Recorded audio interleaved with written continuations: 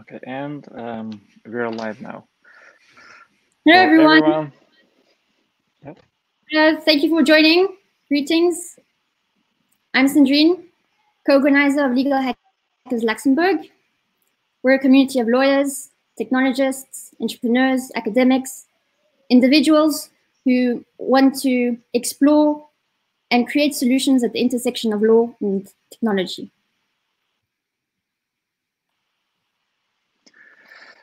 Um, thanks for introduction, Sandrine. Uh, my name is uh, Dima. I'm from Kiev Legal Hackers.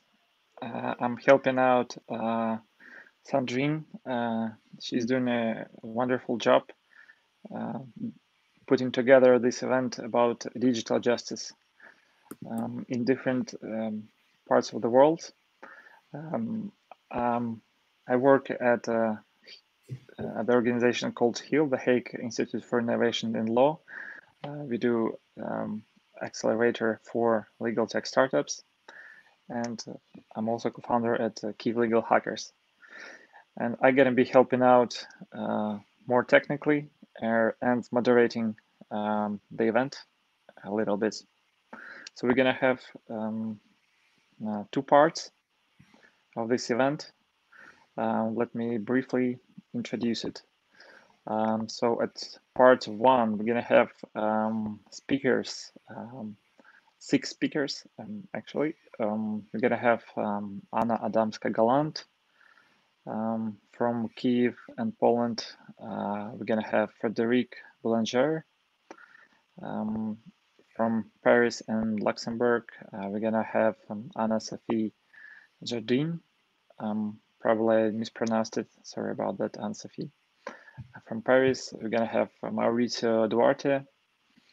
Um, he's from, yeah, it's not down, Colombia, I guess. Um, we're gonna have Lucas uh, Gouvea Carmo. Um, and we all we also gonna have Ana Paula um, from uh, Mexico. And we're also going to have a second part. Um, Sandrine, would you like to briefly introduce the second part? So the second part will consist of um, various questions that we'll be asking um, our speakers. And um, so yeah, we'll see yep, the second part then. Yeah, we have a set of interesting questions. Um, that we will bring up to our speakers. Uh, but you also can uh, ask questions in a YouTube comment box. We will see uh, them here on the screen in front of us, and speakers speakers also gonna see them in, in front of them. And um, uh, yeah, they can be answered. Feel free so, to ask your questions. Um, we'll take up a few minutes to um, make sure that um, one of our speakers can respond to them. Um, yes. And we, uh, as for the timing, we want to have, since we have a lot of uh, very interesting speakers, we want to have about um, 10 minutes for a presentation uh, for each of the speakers in the first part with the short five minutes Q&A. Right, Sandrine? Exactly. So um, five, 10 minutes for Q&A um, after the first part. Uh, then we'll be asking our panelists um, various questions for the second part. And at the end of the second part, there's still time for Q&A. Yeah. Okay, so I think um, now it's enough of introductions. And um, yeah, I would like to invite um, our first speaker or the first part.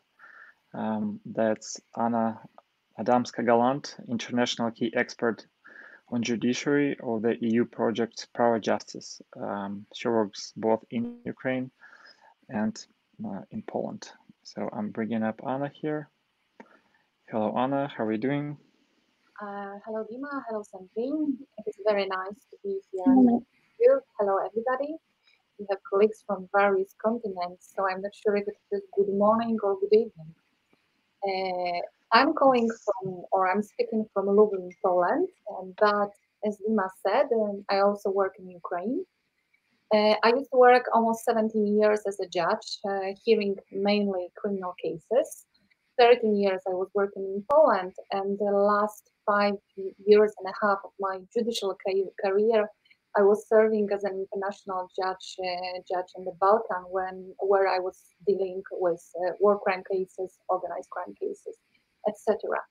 And since uh, January 2018, uh, July 2018, I'm working in Kiev in Ukraine where I am responsible for implementation of a component uh, dedicated to judicial reform in Ukraine uh, that uh, falls within the EU project called um, Pravo Justice.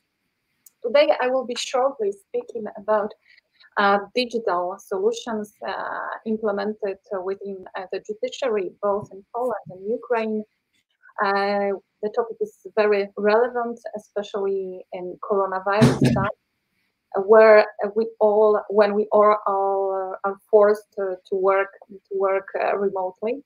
From my point of view, I, I, I have returned from Ukraine just uh, at the very beginning of the quarantine, and for the last uh, three months, I'm, I'm working exclusively uh, remotely.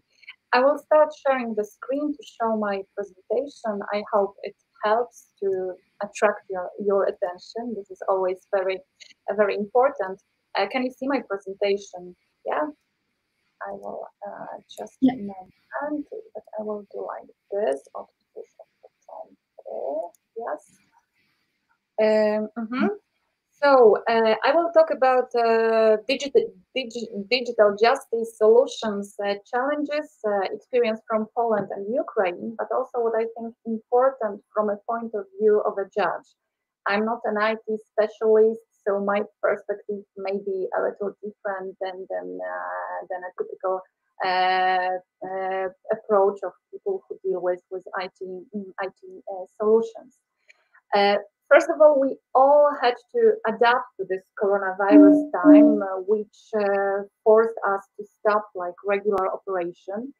And uh, from a perspective of, of courts, uh, actually in many countries, almost in all in, in, all countries affected by by coronavirus, there are all hearings were suspended. There were no public sessions organized in courts. Uh, the mm, uh, all activities of courts uh, were were postponed, unless unless of course the most urgent cases that have to be dealt with. I want to tell you shortly about uh, the, the only solution that worked very effectively during the coronavirus time in Poland.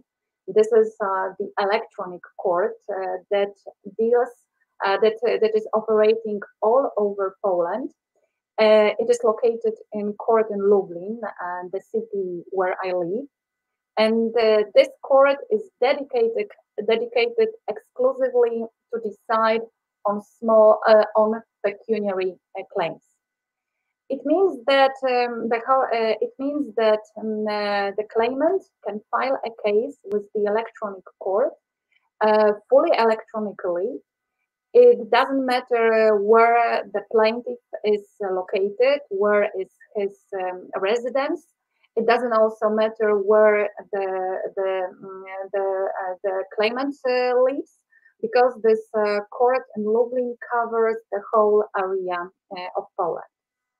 The proceedings is fully electronical, so if you want to file uh, a lawsuit uh, via electronic court, you need to be registered on a specific mm, you need to be registered on a on a specific uh, platform. You need to create your account there. And in the end of these proceedings a writ of payment is issued. This writ of payment you can see in the right in the right um, uh, right part uh, of the slide.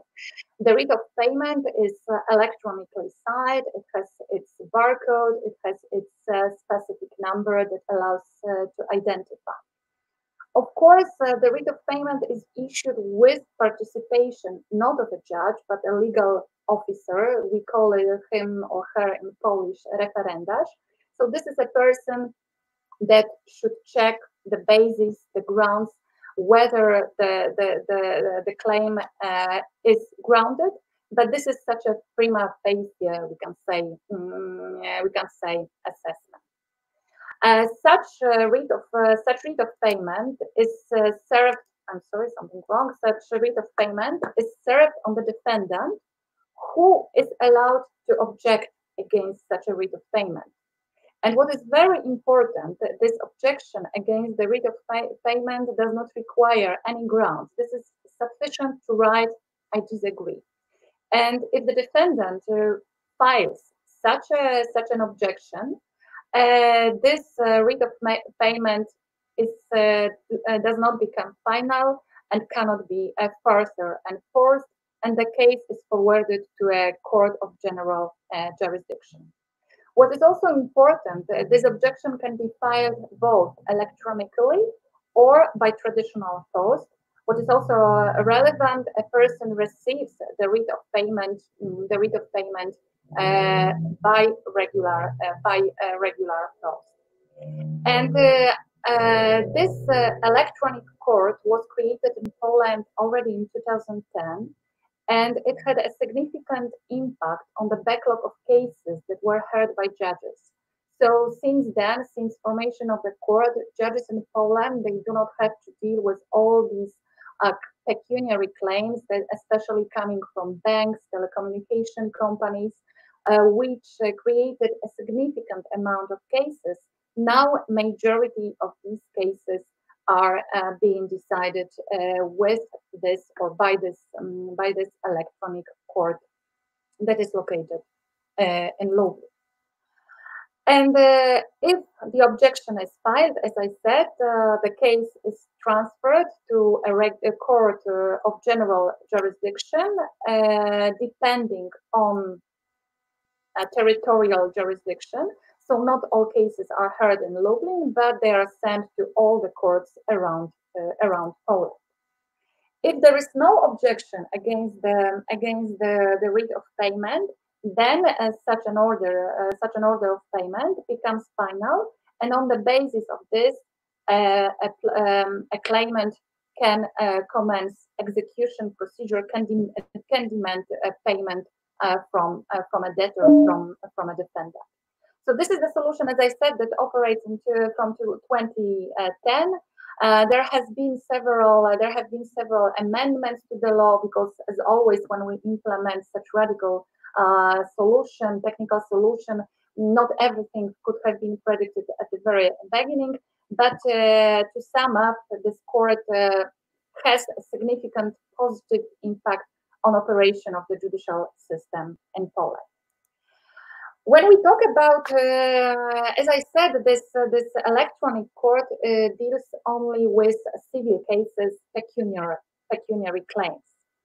Uh, definitely a bigger challenge a bigger challenge is uh, connected with hearing cases remotely when uh, we talk about criminal cases and uh, we have discussed with many judges all around europe with many lawyers about challenges that are being faced uh, by by lawyers by judges in time of uh, in time of um, of coronavirus where in many countries um, uh, there, there have been attempts to provide um, uh, possibility to hear cases remotely. So uh, various solutions have been have been adopted. For example, in Ukraine, uh, there were especially dedicated legislative amendments to the law which allow judges to conduct sessions uh, sessions uh, uh, with using of various telecommunication telecommunication um, systems systems various applications initially uh, judges were using even these um, uh, these applications that are accessible in the market like whatsapp zoom uh, skype then it was decided that they should uh, should use like a stained ode or stained state organized uh, organized um, applications. Uh, but uh, what what challenges judges judges face? One of the first challenges that you have to deal with as a judge this is verification of identity of a person that stands uh, before you or that connects with the court remotely in uh, normal circumstances where uh, we use video conferences and court proceedings, a person that is located in a remote location is assisted by a court um, court official or even even by a judge. And the task of such a judge or court officer is first to verify identity of a person standing before uh, before the court, standing before the camera. In case of these solutions that are being implemented now or that are being considered now, the question of identity is more more difficult to resolve. Of course, uh, we have countries, for example, like in Austria, where all lawyers they are connected with with a with an electronic system of courts, so they are registered in the system. They have their electronic signature, so it is not such a problem to verify whether a person that connects with the court, with the judge, this is the person uh, that should be present. This is a party to the proceedings, or is a representative um, of of the party. However, this is in case of for example, witnesses to, to stand before the court, this is definitely a bigger uh, a bigger challenge. How to verify uh, the identity of such uh, such a person. Another very important problem that uh, judges uh, have to resolve, or that has uh, hearing of cases or remote or digital justice, is publicity of trials. As we know, a right to a public trial is one of uh, the elements of a fair trial. So any person that is uh, standing before uh, the, the court must uh, must have a guarantee that uh, his or her case is heard publicly. Uh, in this picture, you can see the courtroom, one, uh, one of the courtrooms in Ukraine. As you can see over the bench of judges, there is a screen, and this screen is uh, widely used. And uh, these such screens are actually installed in almost all courtrooms in Ukraine, and they allowed uh, for for this um, connection between courts to have video conferences between courts, and also this system of cameras, screens, etc allows to streamline uh, the sessions, uh, the sessions, the trial sessions uh, online. So this is one of the one of the options to be used to guarantee the publicity of the trial, to streamline uh, the court hearings on YouTube or other official or official websites of uh, judicial uh, judicial power. Another very important challenge that is being faced, especially by judges in criminal cases, this is freedom. I've mentioned freedom here, but I wanted to say, I wanted to speak about a freedom of a witness. Because uh, a witness that is to testify in the court, that is to, to, to present its deposition, it is very important that a person speaks freely that there is nobody putting a pressure on uh, on such a person that, that testifies before the court.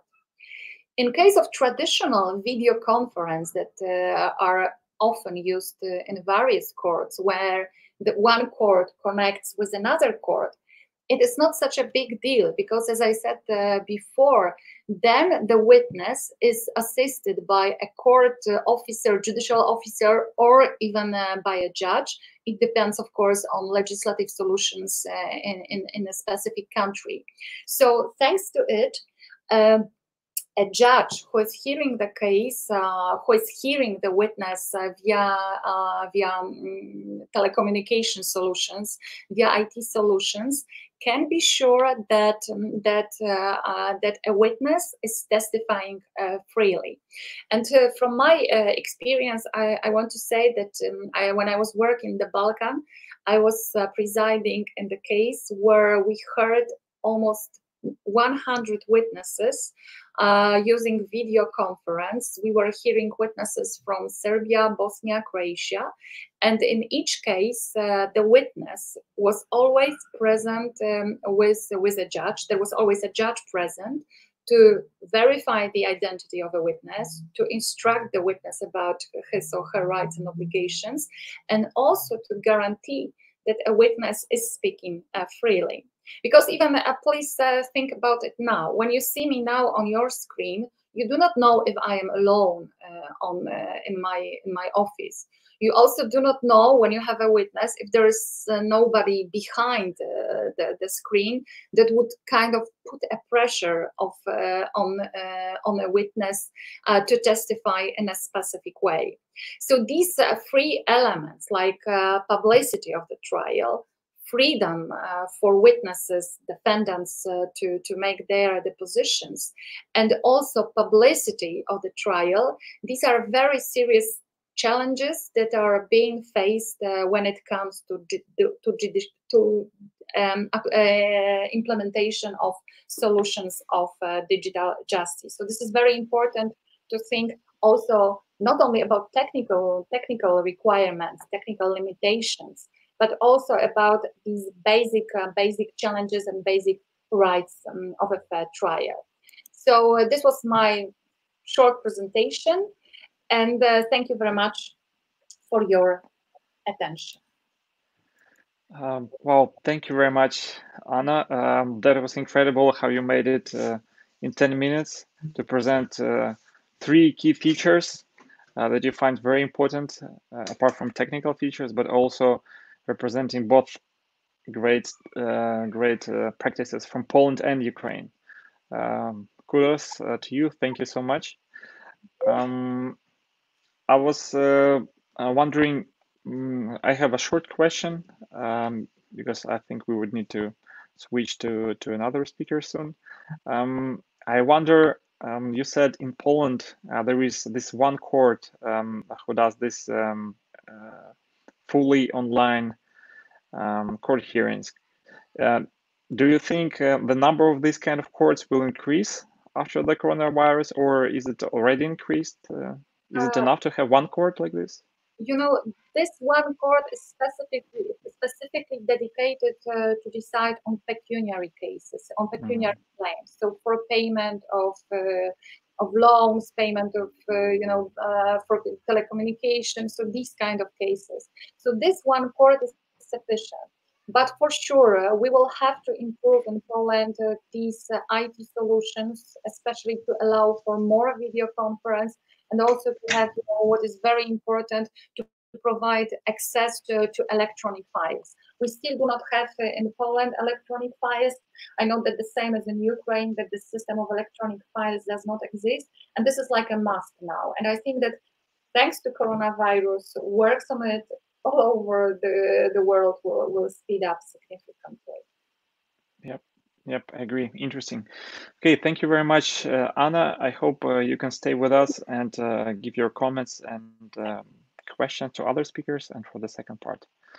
Okay, thank, you. so much. And um, I now would like to invite uh, Frédérique Boulanger. Um, she's a doctoral research at the University of Luxembourg, Faculty of Law, Economics, and Finance. Um, she is, um, she stated um, she works both in Paris and Luxembourg.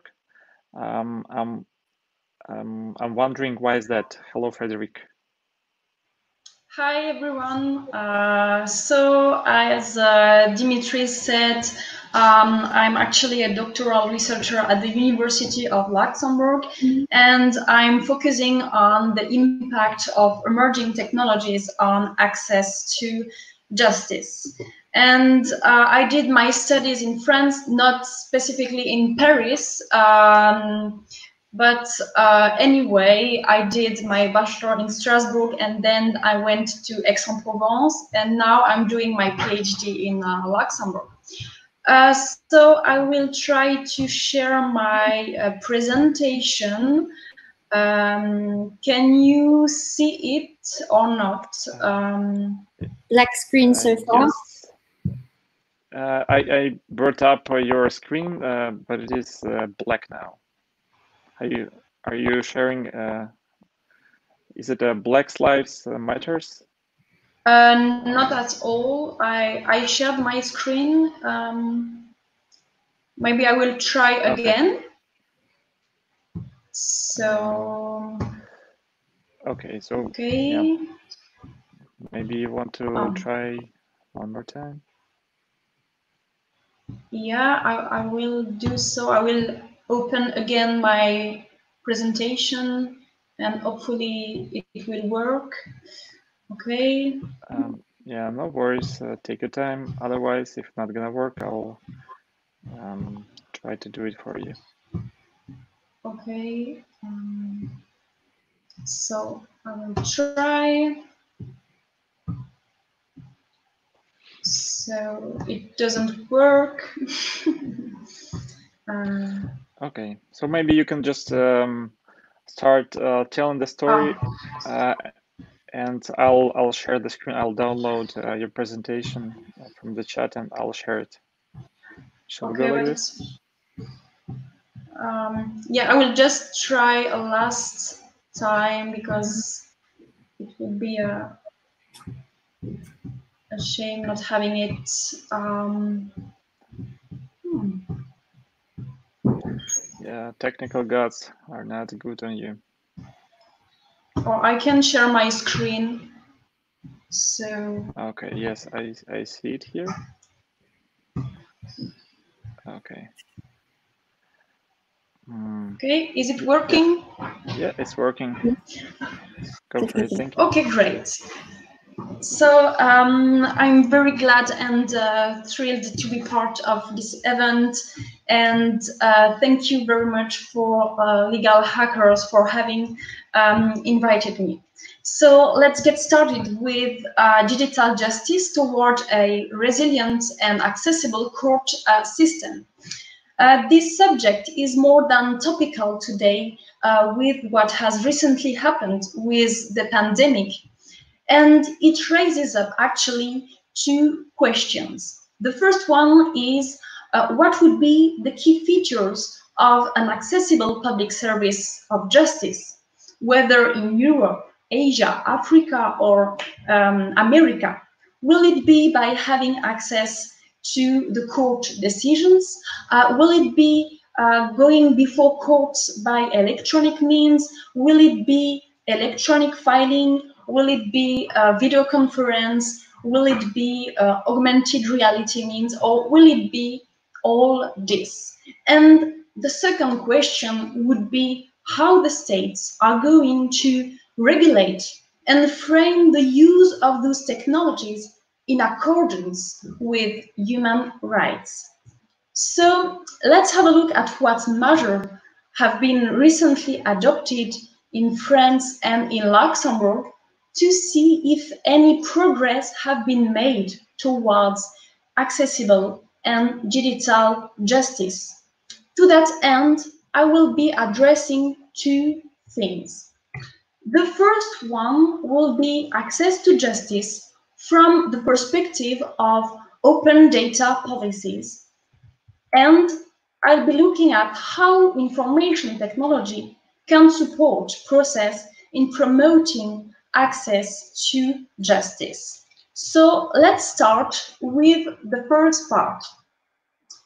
So in Luxembourg, open data policies for judicial decision have been initiated in 2014 by the former Minister of Justice, Mr. Braz, um, by the paperless justice project called also JUPAL. And it has been recently materialized by uh, making available to the public uh, nearly 40,000 court decisions in 2019 on the website of the Ministry of Justice, thanks to the creation of two new databases. You have JUDOC and case, a case law database of judicial decisions. And these two, um, the, these two databases are complementary in a sense that um, on JUDOC, you can find um, a collection of all the summaries of decisions and it gives to the public the main information of any cases they are looking for.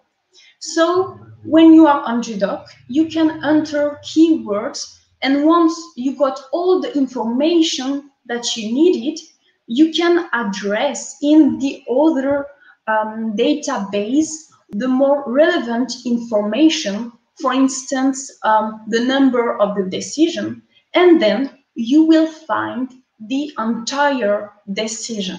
So those two databases facilitate access to judicial information and to what the judges have ruled. Of course, um, there are personal data in those decisions, and they are actually subject to pseudonymization to comply with the European Data Protection Regulation. In France, there are actually two laws um, that enshrine the open data uh, policy of judicial decision. The first one is the law for a digital republic, published in 2016, and the second one is the law for the reform of, of justice, published in 2019. The aim of these two laws is to provide to citizens information about what have been ruled by judges by creating uh, two databases too. You have Jurinet, which holds 460,000 decisions from the Cour de Cassation, and Jurica, which holds 1.5 decisions of civil courts of appeal. And you can find all those decisions on the website legifrance.gouv.fr. And the objective of those two laws is making available 1.5 million decisions per year to the public. And of course, those two laws enshrines the access to justice decision, but also they protect um, some rights, the right to privacy and the right to pro protect your personal data. Um, nevertheless, there is a slight difference between those two laws. Um, while the first one, the law for a digital republic, is referring to the right to privacy, the second one is referring to the right to privacy but also to data protection. And it says um, in the second law that all data uh, that identifies a person must be hidden if they infringes the right to privacy. Now, um, another example of a progress made toward uh, digital justice, it's the use of information technology that support court process. And let's have a look at what is running actually in France and in Luxembourg. So I choose to present today the RPVA, which is um, the lawyer's private virtual uh, network. So it's a tool uh, for lawyers and for judges to put all the um, relevant documents and also all the arguments uh, written by uh, lawyers. So this private virtual network does not permit to lodge a case online, but it permits to fill electronically um, arguments. And how the uh, lawyers can have access to this private virtual network by the means of a cryptographic key which identify them. And they got it when they enroll to the bar. In contrast, in Luxembourg, there is actually no such a private virtual network, and everything is done by hard copy. Um, you have an exception. Um, one step had already been reached uh, during the lockdown.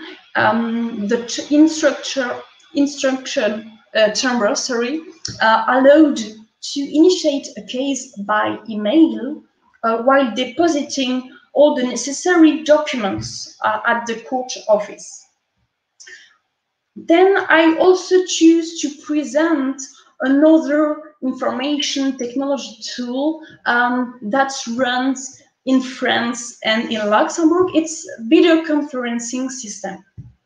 So in France, before 2011, um, was it was allowed only for witnesses and expert hearing. From 2011, it was allowed for provisional detention. Um, the person could nevertheless uh, be opposed to such a video conferencing um, unless there were risk for public order or risk of escape. And since 2019, the use of video conferencing is widespread in France under, of course, certain conditions, and it's in criminal law. Um, and in contrast, in Luxembourg, uh, video conferencing is uh, already set up in all jurisdictions. So you would maybe say that it's widespread, uh, it's used, and so on and so forth. But um, not really, because um, it's due to the size of uh, the country. Um, it's not really a time-saving tool. So all the jurisdictions are equipped for video conferencing, but um, they are actually uh, not uh, really used. So um, to conclude, I would say that some progress have been made toward digital justice, um, both initiated by the laws, but also um, by the use of some information technology within the judiciary. And we will see in the second part um, what are the next steps toward digital justice.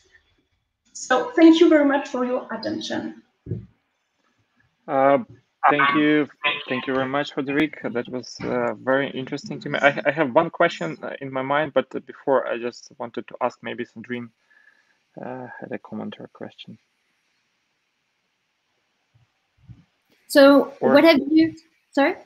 Thank you, uh, Frédérique. Um, very impressive presentation. Very interesting to see the country, in France and Luxembourg. Um, so what is your take um, on other more private um, accessibility? Private firms um, providing access to justice. Um, so all the case law on, of French uh, law, for instance. Um, there are a few legal texts uh, who are in this sphere. Yeah, so what do I think about the use of court decisions by um, legal tech? Is it uh, your question? Sure, your, your take on it, yes. Yeah, um, I think it could be, um, so I won't uh, choose an answer because it's very complicated to uh, answer quickly. Um, I think it could be a very um, useful tool to uh, process all the court decisions um, because then the judges will see what their peers uh, already ruled.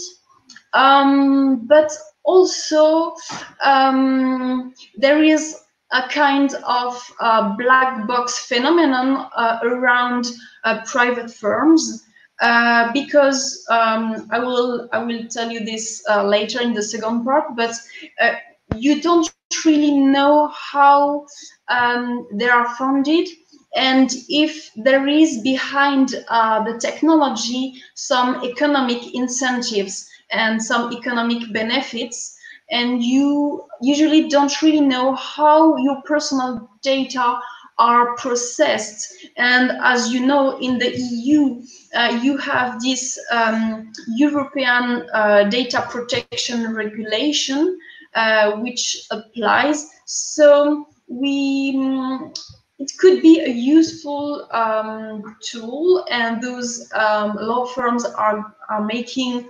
many progress towards digital justice, but maybe the public sector should also work with uh, those um, legal tech and side by side. So yes, that's that's my answer. So creating an ecosystem. Yeah. Sorry? Creating an ecosystem of private and public. Yeah, yeah, yeah, a kind of. But maybe I'm an idealist, and maybe some other people would uh, say something else. Um, Definitely. thank so, you. Uh, any questions?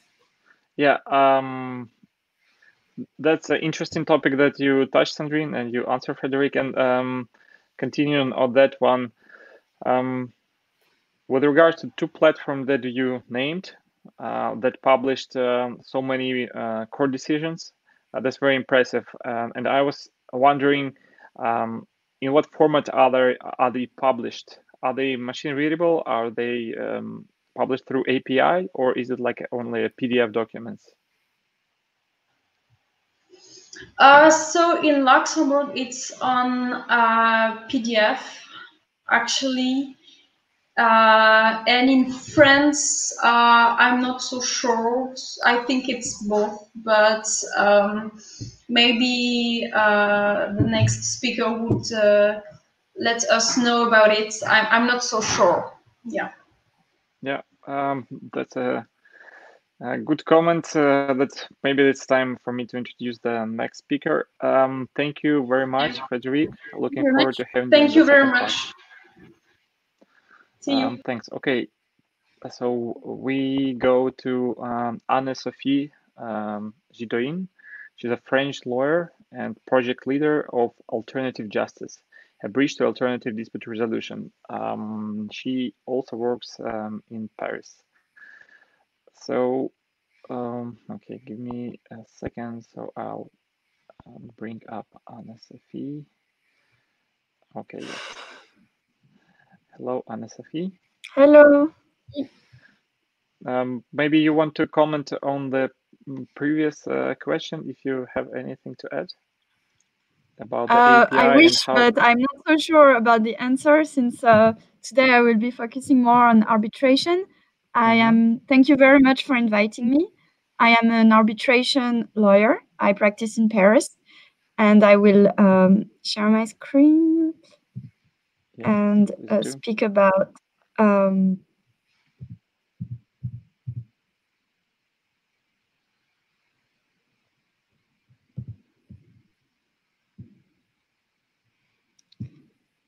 um, sorry need to maybe open the PowerPoint instead. Um, just one second. Yeah, so I will speak about uh, arbitration as an example of digital justice. Um, actually, it should be working. Yeah, take your time. I think it works best if you first open the the document and then, oh yeah, it comes up. Okay. So you having you have the projection. Sure. Yeah, it's yeah. Okay. Uh, so the the question that um, yeah I will discuss today is whether arbitration could be an example of digital justice. Uh, first, I have been trying to define digital justice. Um, so using both the definition of justice and digital. So I, I have defined it as the administration of law relating to digital signals and computer technology.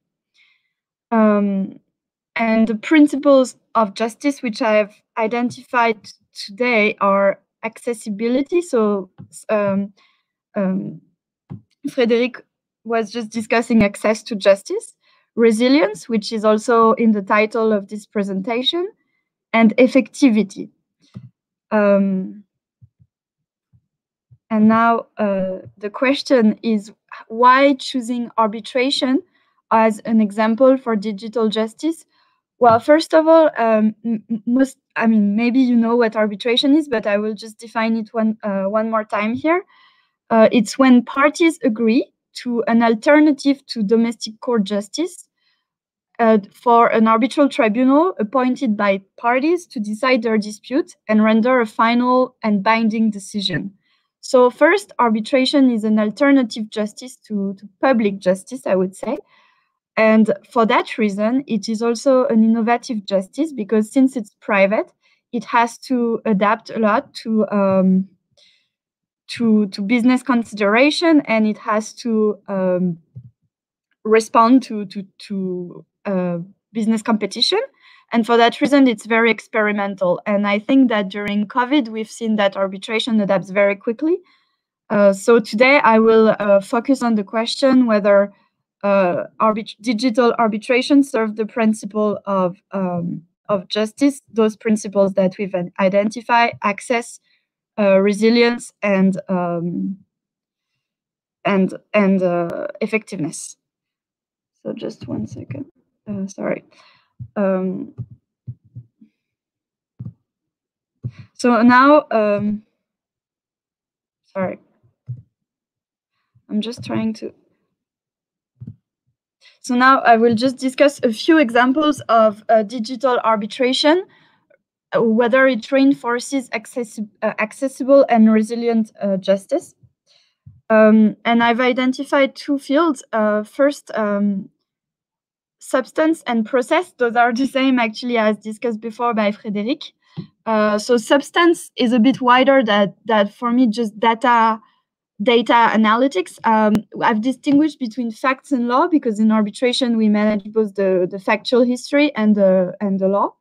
And uh, we have uh, seen a lot of um, tools in arbitration to uh, digital tools to manage uh, facts and, and law, and also to analyze analyze analyze them very much. In fact, um, I've I've just given a few examples. It's not to do publicity, but those are just examples that come into my mind and that we use a lot in arbitration. So for um, facts, I have the example of a relativity, which is a software that manages like documents and goes through uh, analytics of them and stores them, files them, and then you can search uh, in in the documents and make relations between keywords, etc. So it's very helpful. And for legal research, I've taken an example of a very targeted uh, legal research um, software that is called Jus Mundi and that is specific to international law. So it's very advanced uh, in one specific field. Uh, now for a process, um, well, we have various tools, and the first one that comes to my mind is, it concerns tribunal constitution because in arbitration we select our arbitrators, and in order to help with that, uh, various tools have arisen. Uh, for example, arbitrator intelligence is a tool where you would type the name of someone and you would find the record and whether they've been sitting with other tribunal members, so whether they would have conflict of interest. Um, it's very useful. Um, and then, well, as as discussed already before, I think uh, in Ukraine and uh, in France and the Luxembourg, we're going towards paperless uh, cases filings.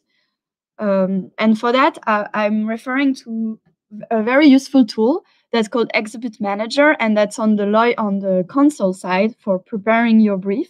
And it creates e-briefs, so all the references are hyperlinked and there is no need to file documents uh, or when there is an amendment to reference, it just automatically updates everything. Um, and the last um, top, the last topic for process is uh, our vi virtual hearings. In fact, those have been so extensively discussed during the COVID crisis that the reference that I put there is uh, the link to the virtual arbitration forum where software and guidelines and solutions are discussed between arbitration lawyers. So it's a it's a very um, I mean we've been having virtual hearings. There are lots of discussions about how to, for example, cross-examine a witness in a virtual hearing, um, and so about also time zones because we're in an international practice. So uh, it's it's challenging to have an arbitration between a party in California and another one in Singapore. Um, so there are many issues, and this is um, this, those examples I think show that um, di um, digital arbitration makes justice more accessible, and and they show a very res resilient justice. But by definition, arbitration has to be resilient because it's it's in a competitive market. Um, now I'm I think that more uh, more exists to invent um, as regard access still and effectiveness uh, with digital arbitration. So I will start with effectiveness because for me, effectiveness is about enforcement. It's once justice is rendered. And I don't see any way to enforce an arbitral award that would like prevent from going to court with the award and having a stamp on it. So at this stage, um, enforcement still requires physical presence uh, at the seat of the arbitration, and uh, I, I think maybe we could imagine uh, digitalization at this stage, but it hasn't been done. Um, what is discussed a lot, and it was it's very interesting that it was discussed uh, before by Frédérique, is access. So we've seen all the access because of access to information, making the process more accessible. But I think more could be done on the funding side, on the funding side, because as you know, arbitration is not free uh, in comparison with uh, court justice, and some parties cannot fund an arbitration, but there exists already solution out there, like private funders, uh, fi uh, financial companies, and I think putting them in like connecting arbitration um, users and funders could uh, maybe could be helped with um, digital solutions. Um, and so, uh, uh, as regard as regards access, I will speak. I will uh, say two words about the project that we've been working on with Sandrine uh, from Legal Hackers um, during the Legal Hackathon organized by Financial Times. Our um, project was also meant to enhance access to justice. Uh, our project is a bridge uh, between to from state courts to arbitration or mediation, and the way to build that bridge is the, that we offered a very easy and and user-friendly solution to generate an arbitration clause. And this arbitration clause would just require entering fields in uh, online on, on the website. You have a link in the in the presentation. Once you enter your field, uh, tailoring your needs, you you generate a clause, and then you can uh, move your your dispute to arbitration. So that was also meant to enhance access. Uh, now my opening question uh, is actually um, is is a little thinking about digital arbitration in the system, and it was the systemic impact of digital arbitration for the lawyers. I think as a lawyer, I'm a lawyer. Um, it's it requires us to rethink the lawyer's added value in in a system or working on a case. Uh, so for me, I, I, think from the arbitration perspective, but I can imagine that in other specialties of law, it also applies. And I think that digitalization of arbitration shows that we should really focus as persons on our soft skills. Here I've, I've added a little chart that shows the pyramid structure of, you know, a, a big law firm before digitalization and, and the, the structure today, which is more of a rocket structure. The green part is the lawyer's part. And where we used lawyers before to do all these tasks, we're now using project managers, tech managers, uh, tech teams, you know, paralegals, and lawyers are here in the middle. Um, so their space is shrinking, but it's also, um, I think that the, the main skills will now be client relationship, drafting, style, and all the beyond legal coordination, which is coordinating project management, tech management. And so for for so yes, for these reasons, thank you very much for your attention. Um, thank, thank you, you, very much for uh, for inviting me. Sorry for the screen sharing. I should have used the PowerPoint instead of the PDF, but that's why lawyers need to learn more um, yeah, if you have any question, I'd be happy to answer them. Well, it's been very um, nice seeing the shift um, in how uh, legal services will be uh, implemented uh, and the shift that um, also within a law firm. Um, I thought it was quite interesting to see that perspective, how uh, the digital impacts um, big structures um, and how yes to facilitate um, and work with the outside as well. Um, so how do you elaborate with clients um, and create a bridge as well? So very nice.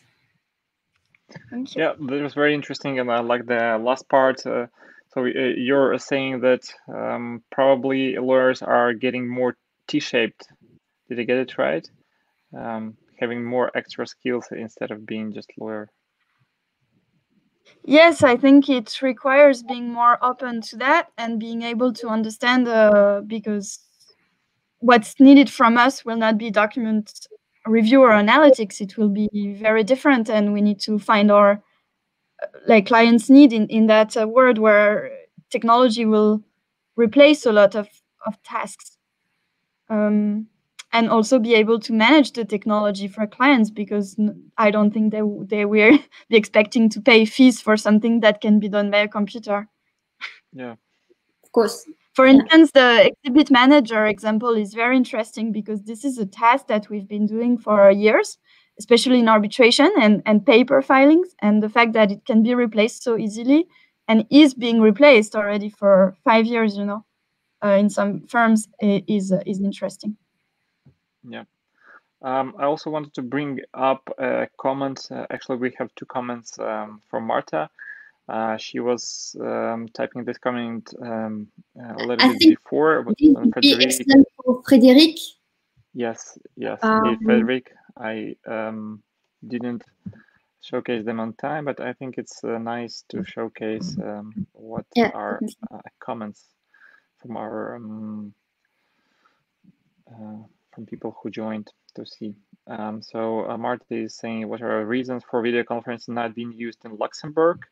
Um, that's a question probably um, not uh, relatable uh, to you, Anne-Sophie, right? And uh, there is another question that is size of country should not be an excuse for an uh, for not using video conferencing in criminal cases where victim witness is not is deeply traumatized.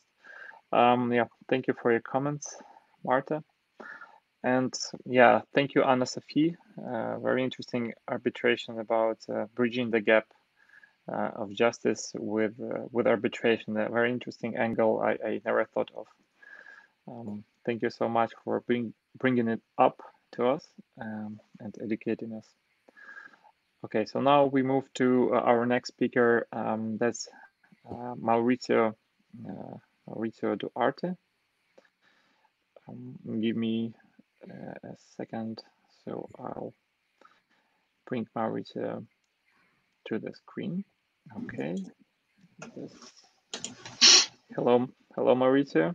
Hey, hello, guys. So Mauricio is international associate and justice entrepreneur at uh, A2J Tech Store um, from Guatemala City. Yeah. Uh, so I'm gonna like share my. Something?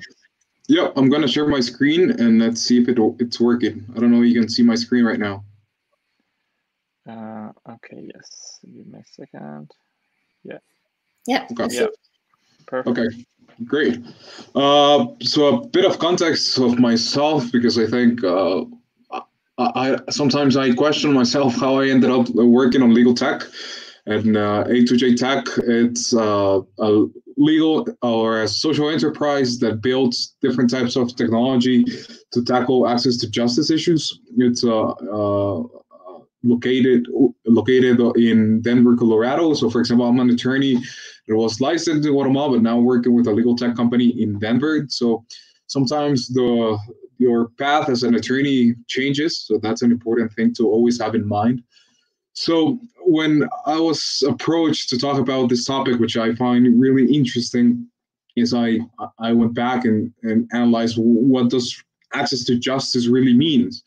Uh, even last week, I, I had a call with a colleague of mine in the region, and he talked access to justice is a broad term that is it, it doesn't only mean going to the courts and having access to legal services or to affordable legal services, having accessible legal information, and so on. So it's the scope, it's broad regarding access to justice. So when we think about access to justice, is not only courts, but it's overall how to make the legal system better for users. So with A2J Tech, uh, one of the questions that started with the COVID-19 pandemic is, okay, one of the biggest issues is how to resolve disputes. And there are two ways of resolving disputes now with the COVID 19 uh, pandemic.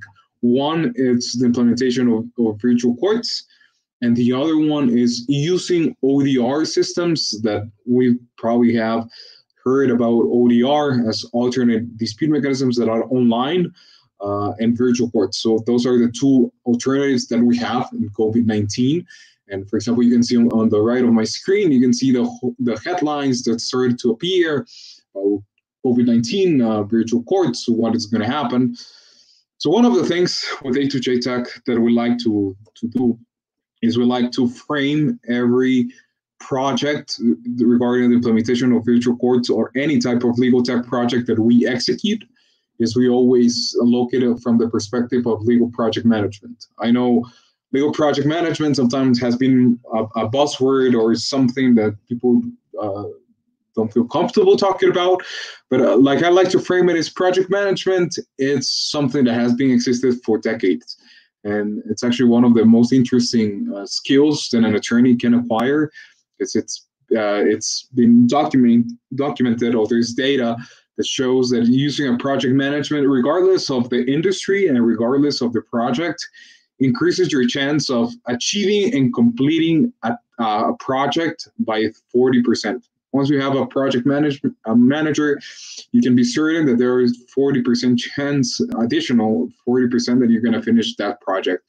So anytime we have a, a project via ODR systems or virtual court systems, we always try to frame it from a legal project management perspective. And once we look around, for example, in the remote, remote courts worldwide initiative by Richard Susskind, uh, we were looking at the, let's say, context, not only in Latin America, but in, in the world. And we, we could see that in, in Europe, uh, there were a lot of efforts uh, for the implementation of virtual courts. And there were many systems that have been uh, working. For example, many of my colleagues recently showed how it works in France, how it works in Luxembourg, and how it works in Ukraine, which I found really, really interesting. I'm not an attorney in Europe, so I cannot relate to those systems, but I understand many of the technical issues that go behind it. So, just a quick perspective because I know uh, our time is limited and I don't want to take uh, many of, of, of, the time on the upcoming speakers is what has been happening in Guatemala. Just to give you a, a, a global glimpse, I still have a, a, law firm in Guatemala, which I mostly advise tech startups or legal tech startups and tech companies in general. I am not in litigation, although I was in a previous life or in a previous practice, I was in arbitration, international arbitration. I do not practice it anymore. And how has been in Guatemala, this is, for example, one of the actual shots of one of the courts that has been existing so far that although we are starting to implement virtual courts is not a it's not a complete virtual system. We're still relying on the physical infrastructure of the judiciary. So for example you can see here we have uh, a panel of three judges that, and they are having a remote hearing. Although the parties are not in the court um, the judges or magistrates in this in this occasion are in the physical infrastructure of the judiciary. So Guatemala has been starting to implement some virtual courts. Not I would not say at a hundred percent rate. That has been slowly starting to see the, the value behind having uh, virtual courts. And one of the things that happened, I think, not only in Guatemala but around the region in Latin America, is that when COVID nineteen started, most of the judiciary and even arbitration proceedings uh, were suspended indefinite. It was, look, we don't have any alternatives to keep the process going, so we're going to suspend all the process. And that happened both in arbitration and in in uh, the judiciary. So what happened is after three months, and for example, in Guatemala, I know that the restrictions for COVID nineteen are still ongoing. Uh, they're probably looking at four months of restrictions because the curve hasn't flattened down as most of the Latin American region. So you have to come up with a, an alternative. And the thing is with the alternatives in Guatemala right now, and I think that this goes as a criticism on my part, we're looking as virtual courts and ODR systems as a short-term solution when it should be looked at as a long-term solution. We're not just tackling an alternative for COVID-19, but we should be tackling an alternative for access to justice in general. So I think uh, Guatemala is still doing its efforts mostly in uh, for solving uh, civil and commercial matters, but also labor law. uh, and family law are the four main areas of practice that the virtual courts are try- trying to tackle. Uh, and uh, the constitutional court, because we have a constitutional court that is similar to the Supreme Court in the US, uh, that oversees constitutional matters that have certain importance. They have been also having some uh, virtual hearings, but although it's not been in 100%, I will probably say that 30, 40% of the cases have been on virtual courts that are still relying on some physical infrastructure. So it's not a an entire virtual process that we have. So with that in mind, and I just want to show you one of the things that we've been looking at with A2J is that we have been starting different partnerships. And one of the partnerships that we have started looking at this uh, at this problem of virtual courts is we started a partnership with RDO, which is Resolve Disputes Online, which is basically a platform for you uh, take control and administer any type of proceedings, even if it's arbitration, mediation, or or even uh, courts from the judiciary. You can use RDO as a system that has protocols put in place uh, to have control of any type of proceeding. So I think one of the important uh, aspects of, of access to justice or virtual courts are related or not they're not the same is looking at the value of legal tech as a tool that can enhance and improve access to justice and that effort is not only by by independent efforts but you have to collaborate and partner up with other enterprises and other projects that have some insight for example RDO was uh, a platform made of, of experts in arbitration and alternate dispute resolutions but the platform can be used for other virtual courts so uh, I just wanted to give that general overview. I, I don't want to spend much of the time. So that's from my part, and thank you again. Um, thank you so much, uh, Marito. I relate a lot uh, to what you were saying, and uh, I constantly also switch between legal tech and access to justice, and that's uh, very interesting. Uh, where do you see the overlap? I think that the overlap is although legal tech and access to justice have been uh, probably starting to seem as the same thing, I think what happens with legal tech is that it accelerates the impact of a solution that is trying to decrease the access to justice problem. So technology is not going to solve the, the, the core problem, but it's going to accelerate the solution that might uh, diminish the problem surrounding access to justice. Sometimes we think technology can solve everything. But I, in my perspective, technology is a tool, as it can be good for, you can have good intentions or bad intentions. It depends.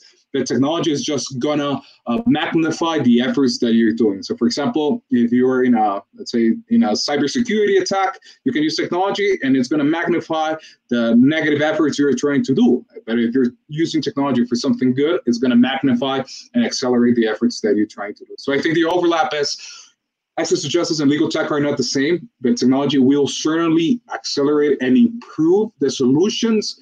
One of, that's why legal project management looks what is the solution? Technology is something that is going to be helpful, but what is the core solution that we're looking at? Are we creating the same solutions that we had in place in the physical infrastructure, or are we creating new solutions that are adaptable to the new needs and new type of problems that are arising in a digital economy?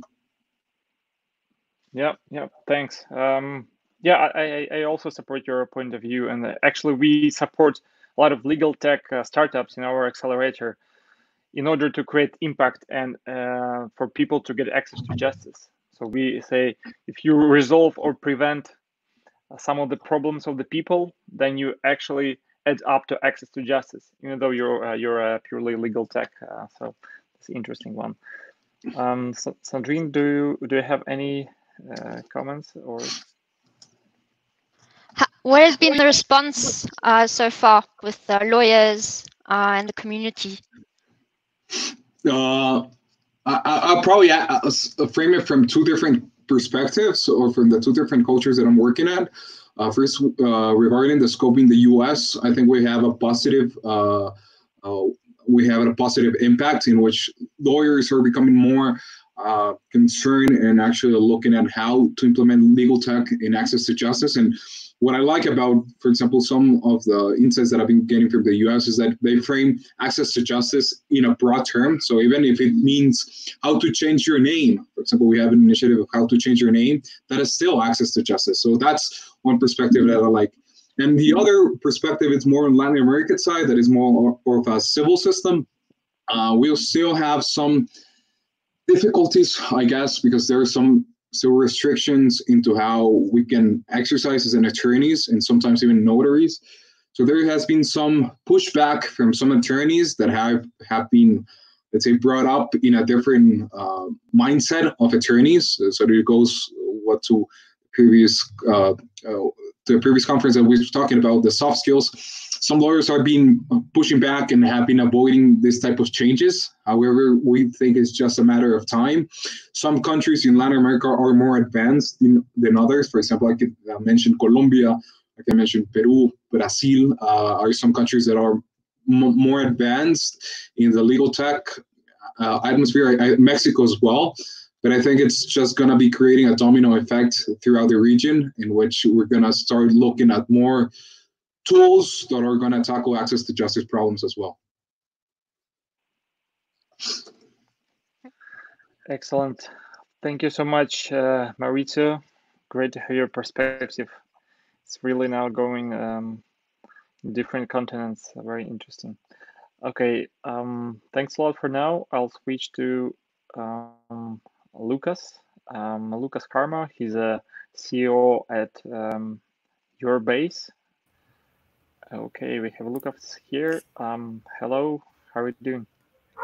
Hi, how are you? I'm Lucas.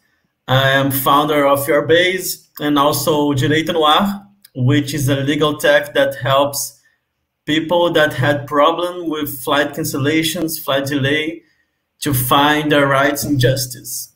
So it's very curious because we are trying to innovate in this field for a while but we find a lot of barriers, especially from the lawyers and especially from the the organ that regulates the, the lawyers in Brazil. And it's called OAB, it's like the Brazilian Order of Lawyers. So I have a lot of interesting things to say. So let's begin with my presentation. I will share my screen. Yes, please do. It's interesting, uh, maybe for you to know that in our Innovating Justice Challenge last year, we have the winner who also does exactly the same. He helps people really to yeah to solve uh, flight cancellation and similar issues. What's the name of the legal tech? Um, their name is airlaw.pro. Oh, that's cool. We are expanding for other fields since such as labor problems, and also problems with secure, secure uh, all kind of consumer problems I can show you later. But all right, I'm from Legal Hackers Rio, and we are talking about digital justice towards a resilient and accessible court system. And I know that lawyers make a lot of objections, so if you have some objections, please feel free to, to ask me later. So how are we dealing with virtual courts? In Brazil, since 2015, all processes must be filed online. And still, we have a lot of cases. I think more than 50% of the cases, they are physical. And all the physical cases, they last way more longer than the, the virtual ones for obvious reasons. And however, we have a chaotic scenario because there are at least four different systems for filing the cases online. In Rio, we have one. In São Paulo, we have other one. And other states, we have different ones. For me, with this legal tech, it's really chaotic because we have uh, flyers from all over Brazil, and we need to deal with all the different systems. There are some some legal, legal techs that are emerging, and they deal with.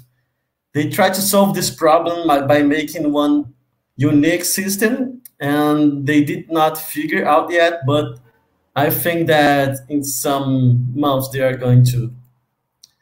So how are we do, dealing with coronavirus?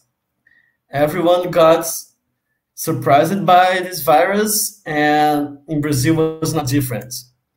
So all the processes they were suspended until the end of June. June. Now they are getting back on track, but all all states they can regulate specifically for their re re region, and it's difficult because in Rio, for example, even though we are a huge city, we are not making online hearings. And in Manaus, that's a small, smaller city, for example, they are doing it through WhatsApp. And that's crazy because you should think that Rio, by being a big city, would be modern city, but that's not true. We are already had online, online, online hearings, but but there were special laws for coronavirus that allowed video conferences for online processes. The online hearings, they are made through WhatsApp, Cisco WebEx, and Zoom. For me, none of these solutions is the, the right one especially because it's they are not open source. And i'm going to go back to this later. But for sure coronavirus has helped brazil to towards the digital transition. And that's because we needed to do a lot of things. So a lot of laws was were made to try to help this situation. Lawyers are talking about this there are some judges that are working faster and their employees too. So there are some in some places they have not delays anymore after they started to work remotely. And what are the challenges in Brazil? I think that just like all the other countries in development, the classes D and E, that is the poor people, they do not have access to high quality internet. And in some cases, in Brazil, in Brazilian legislation, we need the part to be in the hearing. And 40% of the, the these classes, they cannot do that. So this would be an obstacle to justice. And we would think, okay, since it's online, it's easier, it's faster, it's cheaper, but this we have to think it deeper. How would we make this possible for people that really need the justice and cannot go online? Uh, publicity is also another challenge because we don't know how to to keep these hearings online and safe other problem is that all the states they have autonomy to implement the hearings the, if they want to and how they want to. Cisco WebEx they made a really problematic deal with Brazilian government. No one knows what they agreed, what they would do with the data. And the government said, okay, if you want to, you can use Cisco. But a lot of courts are not using it because of privacy concerns. And the biggest problem for me, biggest problem is that there is non, non open source solution that can help us to, to keep privacy. Why open source solutions would be the best bet? Because if we can have access to the code, we would know exactly how they would deal with our data. And WhatsApp is from Facebook. Zoom is a huge company that had problems with privacy in the past, in the recent past. So we should look for open source solution. Uh, I don't know if there is any in the market yet, but if there's not, there is a really good opportunity for the, the community to develop it. And in Brazil, we have some problems, some barriers with the law, especially in the criminal field. And if you want to change the law for making online hearings and make online courts, we need a lot of discussions and it takes a lot of time. So since 2015, we are going deeper in this transition. Coronavirus came to make it faster, but we still have a lot of challenges. So that's it. Thank you. Thank you so much, Lucas. Um, that's very interesting um, that you mentioned uh, open source uh, solutions. And uh, I actually know uh, one video conferencing uh, solution that is open source and works quite well. That's called Jitsi. It's uh, G-I-T-S-I.org. Um, so anybody who's interested in open source, um, I think um, that's the way to go. And it's quite decent, I would say. It has a lot of functionalities, like even more than Google Meet. Um, yeah, so thank you for that. Oh, that's that's good to know. Thank you. Yep. Sandrine, and do you have um, any Lucas, I was wondering. uh, or comments? Yes. Yeah, sure. Um, so I was wondering, um, with respect this, one aspect is accessing the actual document, um, case law, for instance, or laws. Um, another aspect is also understanding what is inside the document. Would you say that um, the documents are quite understandable for a lay person? Mm, no. No. No. Okay. It's, So legal design maybe might help with that issue as well then. We have a startup, legal tech in São Paulo, that's called Verifact, and they have a solution that can make can show the judge and the other lawyer that that print screen, for example, is reliable. But we have we do not have, for example, laws that say how the document should come and what it should show. But if the lawyer does not present a reliable proof, a reliable document, the, they will just lose the, the case. Thank you. Yep, thanks. Um, okay, Lucas, thank you for now. Uh, we're gonna move um, to uh, Ana Paula. Ana Paula uh, Romualdo. She's a cyber lawyer, uh, legal AI, privacy, and data protection expert from Mexico City. Hello, Ana. Hi, Dima. Hi, Sandrine. How are you? Thank you for having me in this Good, interesting thank event. you. We would be happy to hear uh, some of your thoughts about digital justice. Yeah, sure. Let me share my screen.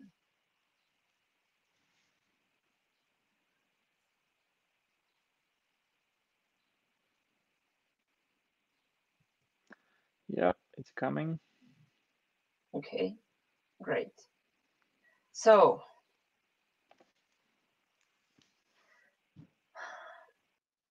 first things first, what we talk about when we talk about digital justice. Because it seems like we're talking about the same thing, just virtual courts or online process, but sometimes it um, there's another element in digital justice. So it might be algorithmic justice. This is not the case, but I wanted to mention because when we are talking about this subject, sometimes this comes up. Uh, how um, can can a software help judges to um, make decisions quicker, easier, more accessible?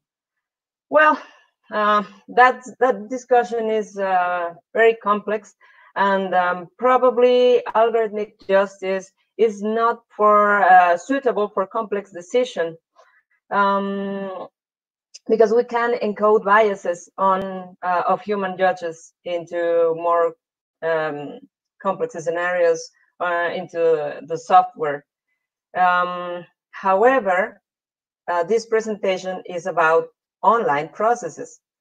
Um, actually, I just wanted to mention that um, the algorithmic justice, uh, it's also about justice, but our, our, our idea of justice is uh, deeply embedded in ancient values.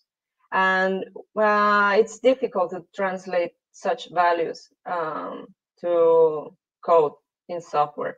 So probably uh, process, simpler process like the ones that uh, Lucas was um, addressing um, are easier to tackle with algorithmic justice. And by the way, just if you type justice on Prezi, uh, Mr. Spock comes up. You know, Vulcans are the example of justice for uh, Prezi, but uh, let's keep with online process. So, uh, what was the reason for online process to come um, besides um, technological advances? What is wrong with our legal process? Aren't we okay with that, or what happened?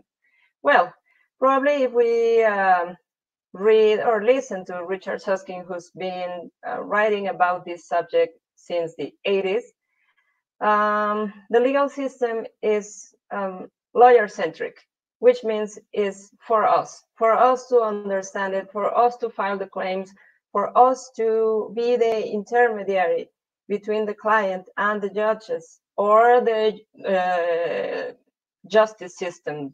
I mean, justice systems, um, uh, administrative uh, justice or judicial uh, process. So uh, sometimes we make things harder, to be honest, for clients. And that was not right. The um, clients sometimes complain that um, our fees are really high, that they don't understand us.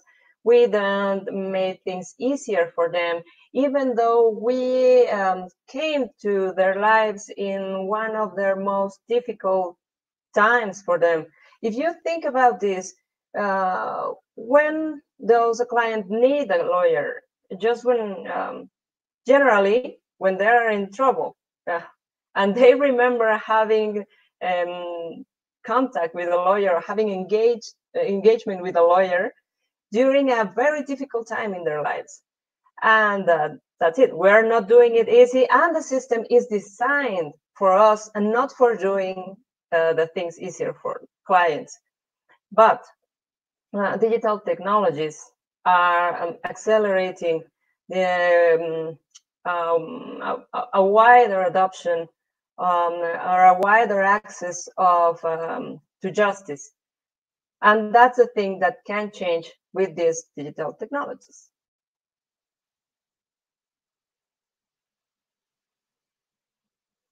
So I'm giving you my perspective from Mexico. And um, thing here is that we have online process since 2008. Um, but this process were administrative process and they are in the federal law of administrative contentious procedures. Um, this means that is um, when the clients have certain um, or issue with um, administrative authority, not between um, natural persons. So um, despite the online process is um, not really up and running, but was in the law since 2008, the first decision came in 2011. Um, it last that that um, that case last, um, if I'm not wrong, like a month. So this was really quick for this kind of procedures that can last um, from six months to four years. So this was a simpler, um, a simpler case than the ones that last for four years, but still, it's a, uh, it was a really good advance. However, I remember that not many lawyers and not many people were confident or supportive um, to the online process. They uh, they were um, they didn't feel comfortable using the process because using the online process because what will happen if the if, if the system fails. You know, it, in Mexico, some systems have failed, even with federal elections. So that's probably why some people think uh, if that system failed, this system can fail. I mean, it's not that easy. Uh, um, I absolutely agree. But that's uh, one of the things that explain the, the fears and distrust from people and lawyers to online process back in those days. And also, when you file a claim electronically, you need to use your electronic signature. That in this case uh, needs to be an advanced electronic signature that is equivalent to um, certificate signatures in Europe. And um, the use of electronic signatures is uh, also not uh, quite accepted, not really, uh, people weren't really supportive about the use of the electronic signature. Also, um, there was there was and there is uh, cultural resistance that we're fighting um, back right now. Uh, but um, in 2008 and 2011, that was really um, surprising using an, an, electronic advanced signature for an online claim. So despite um, those um, um, those things that I'm just uh, saying, that wasn't enough, you know. Uh, that wasn't enough for, for Mexico. They, they, they, they thought, yeah, of course, we have this um, the possibility of uh, filing an online claim, but also in the law there were uh, options um, to reject the um, presentation of the online claim. So um, for example, if I uh, if I'm the claimant and I, I, I, file the claim, the defendant can reject the online process, and then the process would need to be conducted physically. Um, and um, depending on the, there, there was also an option um, if the notification wasn't received or something like that. Also, the entire process uh, was to be conducted uh, physically.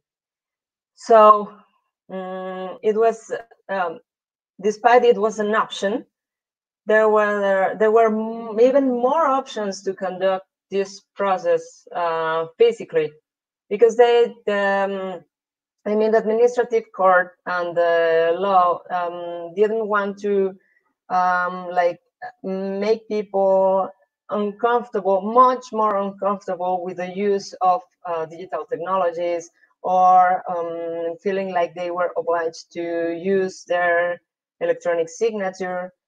And that is um, despite the fact that we in Mexico, uh, all taxpayers have a certificate signature, but um, its use is not very socialized. So that's the that, that's why I'm saying that um, despite we have all the tools to do an, an online process, not a virtual court entirely, an online process. Uh, we didn't because that wasn't enough and uh, there was so much cultural resistance. Then the coronavirus came and it changed everything. So if there was the cultural resistance that I was talking to you about um, um, regarding the use of electronic signatures, regarding the use of online process, then there was no other option.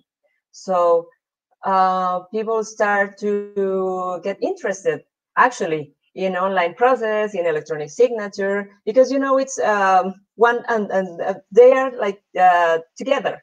You cannot file an, an electronic complaint if you don't use your electronic signature. But um, those were steps that we need to walk slowly uh, for uh, for the change not to be so drastic.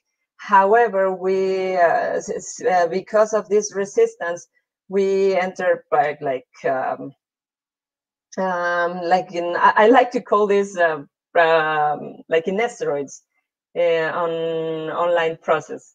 So there was no turning back, and if you weren't using those technologies.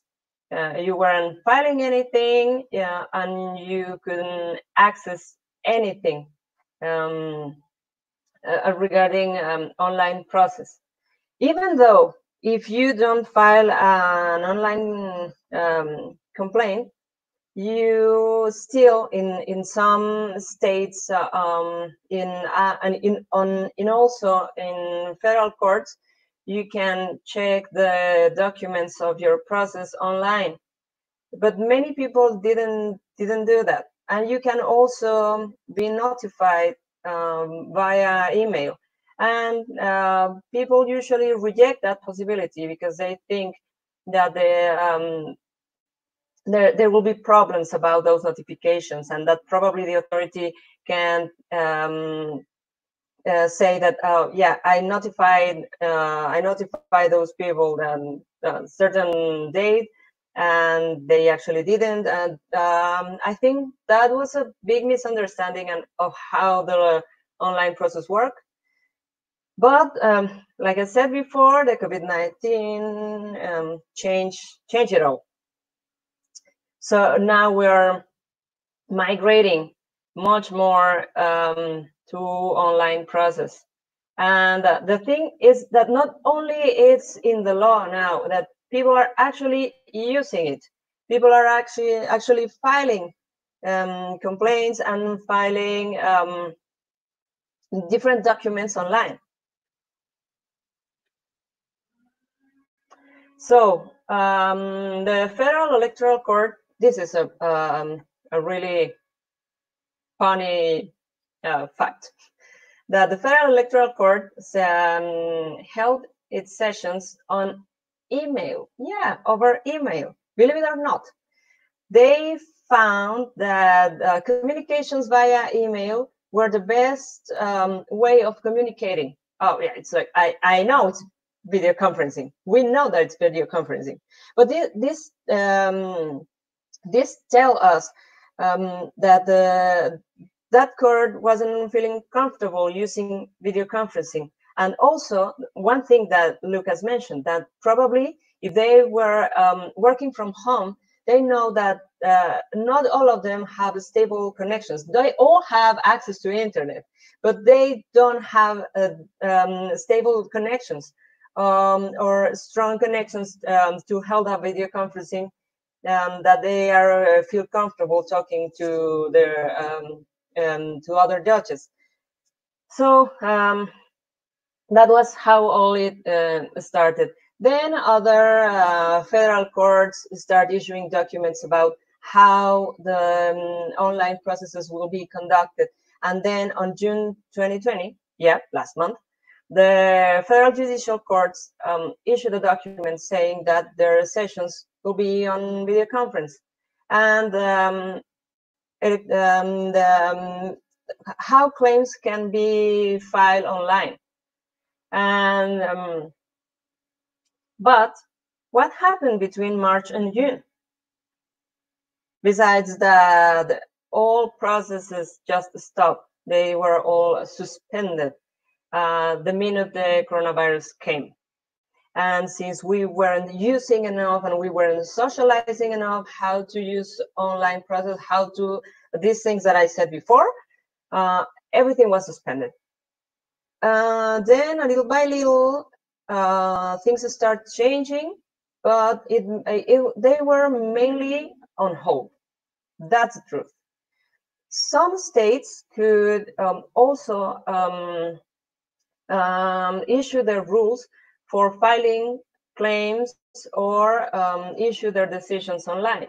So uh, divorce over Zoom took place actually last month. Uh, in in that case, um, a hearing, a confirmation hearing was pending, if I'm not wrong, and that was the last step for that process that had been um, time consuming and all the things that we know that uh, it could be um, uh, implied during a divorce. So the this was in the state of Mexico, and that was uh, something that um, really that was really celebrated over the internet. And the divorcee was actually went viral because he, uh, she celebrated that she could uh, have the, the divorce over Zoom. And actually, if you are curious about it and you uh, and you type Valeria de Borsum, Mexico, uh, you can you can see the entire story. So I was talking um, uh, also that what happened uh, between March and June that uh, was the, the use of electronic signature um, is widened. Um, so much more people now, like I said before, was uh, is interested in using it. People that um, usually rejected the use of electronic signature and uh, people that um, actually think that its use can um, bring more trouble than benefits they are changing their mind now, and I'm very happy about that. And uh, something that is important is that um, despite the document issued by the federal court, not all local courts allow online process. Actually, only 10 courts, 10 states um, allow this type of process. So in the other, uh, in the other states, um, or uh, at state level, many processes are still suspended because they don't allow online process, unlike the um, uh, federal courts. And even though in um, uh, at federal level they are allowed, I'm not sure how um, how are people accepting it. I, I, know it's it's more accepted now, but probably it it will take a little time. Okay, I'm sorry so, for interrupting. Uh, but we soon need to move to, to the discussion part. Yeah, sure. Well, uh, that was the last thing. So thank you. okay, thank you so much. I was I was just in time. um, okay, um, that's uh, an interesting uh, portion, uh, especially for me. It was very interesting to know that somebody is having hearings over email. that's something new. so um, probably we now can uh, switch to the second uh, part and we can have a discussion. And uh, Ana Paula, you you may. Uh, looks like it stopped. Um, yeah. Actually, we have um, some live questions. Um, let's just do this uh, short Q and A for part um, one um, or but um, actually, um, Ana what I, I liked, uh, I found interesting about your presentation was the fact that the infrastructure was there ready to use, and it was um, the um, the people who had hesitation um, of using it, not maybe fully understanding um, what it was used for, um, whether, or whether it was good or not. Uh, there was hesitation. Uh, so um, perhaps uh, one possibility is to have um, some uh, presentations in high schools as well so that people know that the, this infrastructure is available and how to use it. Um, because it seemed like the communication hadn't been there and had it not been for uh, the coronavirus um, use of it might have been um, still restricted um, well, I think I'm not sure if the problem are high schools or if the um, conference on uh, conferences on high schools um, are um, suitable solution for this because I think the obstacle are us, the lawyers. So probably it, uh, we need to socialize the use of these tools on universities um, because uh, lawyers, not only clients, lawyers are um, dubious about the use of these tools. They um, and sometimes uh, we need to be honest. We're we're, um, we're techies. Yeah, we know we we know how to use technology, but many lawyers are not familiar with the use of technology, and many lawyers don't. Um, uh, don't get along uh, don't, don't um, yeah they, they don't um, like the use of new technologies they use their all good email and that's pretty much it. And sometimes they are afraid of new technologies.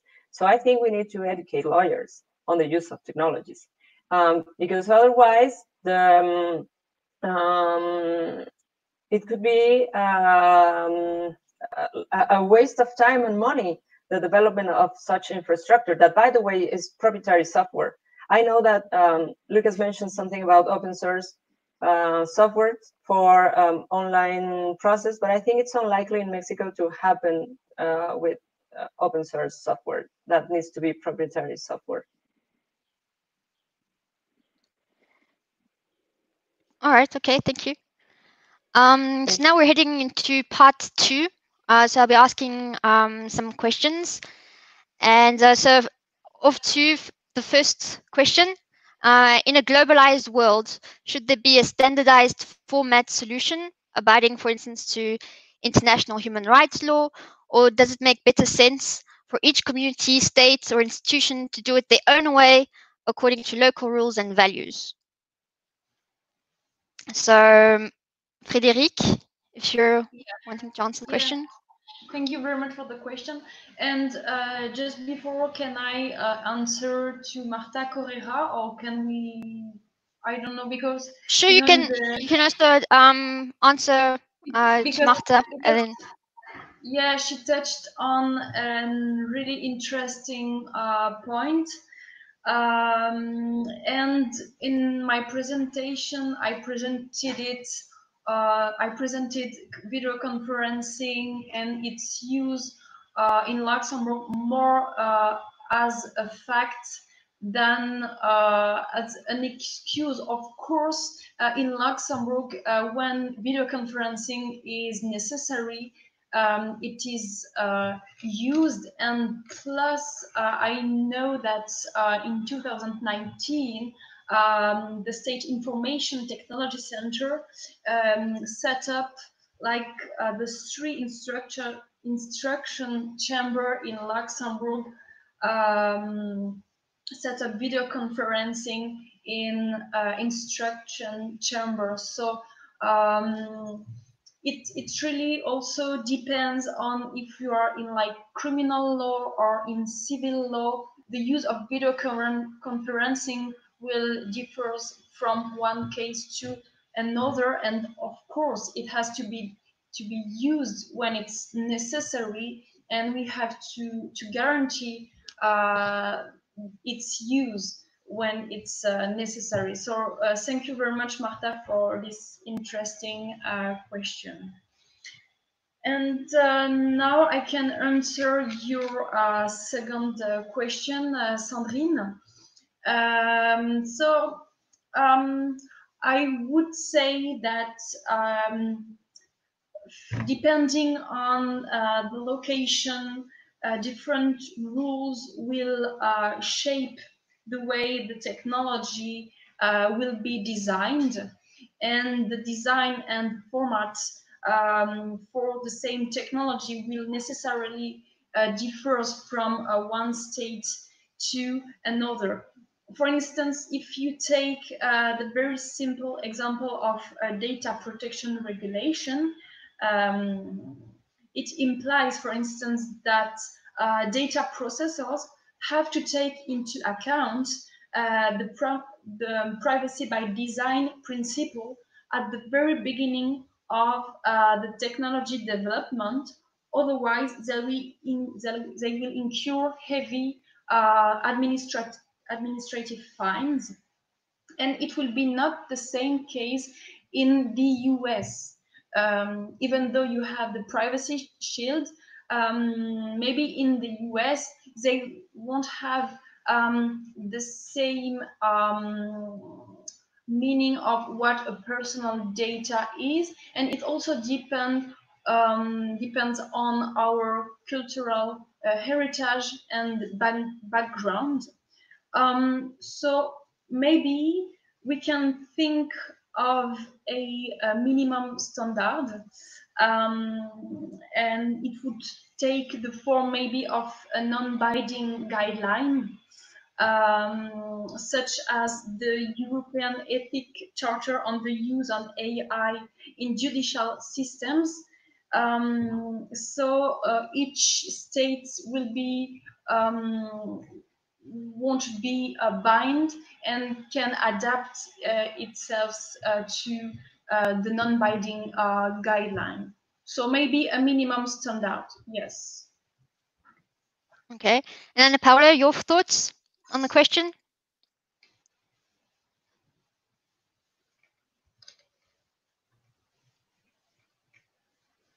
Um, I'm, yeah, probably not sure if a standardized format, but uh, as we can see in cyber law, um, things are more um, um, standardized, not like a unique format, for example, but we have certain principles that which we share with other nations. So probably not the, um, strictly a format, but probably a format that shares uh, some some type of uh, principles or values or something. Um, but you still need to take into consideration the jurisdiction. Sure, of course. All right. So um, off to the second question. And um, so what would a basic minimum solution possibly look like? Then we're, we're referring to this basic minimum. Would it be Zoom and WhatsApp or uh, another public prototype um, on which courts, including arbitration courts and tribunals, can build on autonomously? And what would the characteristics be? Would be would there be encryption, video on demand, video by default? So we have Anna Adamska. Would you want to say a few words on this? Yeah, uh, you, as I said, I'm not an uh, IT specialist, so I can only base uh, on my experience uh, let's say, daily daily work. But I want to say that I, I am not sure if if the state itself has uh, you know, creating a system uh, uh, of uh, IT communication, IT tools to be used by by the by the judiciary, it's it's a big task. So perhaps it is more reasonable to use these solutions that are already available in the market, of course, with proper security solutions to be applied because this is very important that the, the connection between the court and the, the parties to the to the hearing is secure, that this is encrypted, that nobody can enter who is not uh, not uh, not uh, not uh, who should not Uh, take uh, take uh, take part in it. But uh, this commercial solutions, I think that they are definitely more um, better developed than this that can be developed by by the state agencies themselves. And this is what we can observe in Poland, Ukraine, that these state state enterprises uh, do not provide this, the same quality uh, service as these kind of Zoom, WhatsApp, etc. We have conducted in Ukraine the analysis for for uh, for our uh, for the state judicial administration. They have asked us to analyze uh, these um, uh, applications available on market also comparing with with the with the one that was developed by uh, by the state enterprise and of course these commercial uh, commercial provide better better service than the one developed by, by the state but but if i may just return for a moment to the first question if it's mm-hmm. allowed uh, i would like sure. also to, underline when when we talk about some values and joint principles, I would really re, re, refer to these uh, principles of a fair trial, publicity of the trial that must be uh, guaranteed also when we have this uh, justice on, on, online. So just a short comment to this, what was before. Us thank you. So Lucas, Okay, what would a minimum solution look like? I would say an hybrid from Zoom and WhatsApp. And why is that? Because WhatsApp is so easy to to use, and Zoom has that that feature that's the breakout room when you can separate people in separate rooms and that would be great for witnesses and people that not can hear what others are saying. So that would be perfect. On which courts would it be allowed? It's a polemic question but principally when the case when the case handles just document proofs because if you need to to make an interview uh, or sometimes it's needed to to feel what the other person is saying to, to see it's true or not and online it's really difficult probably we will we'll have some means to handle that in the future but nowadays I cannot see how can we do that.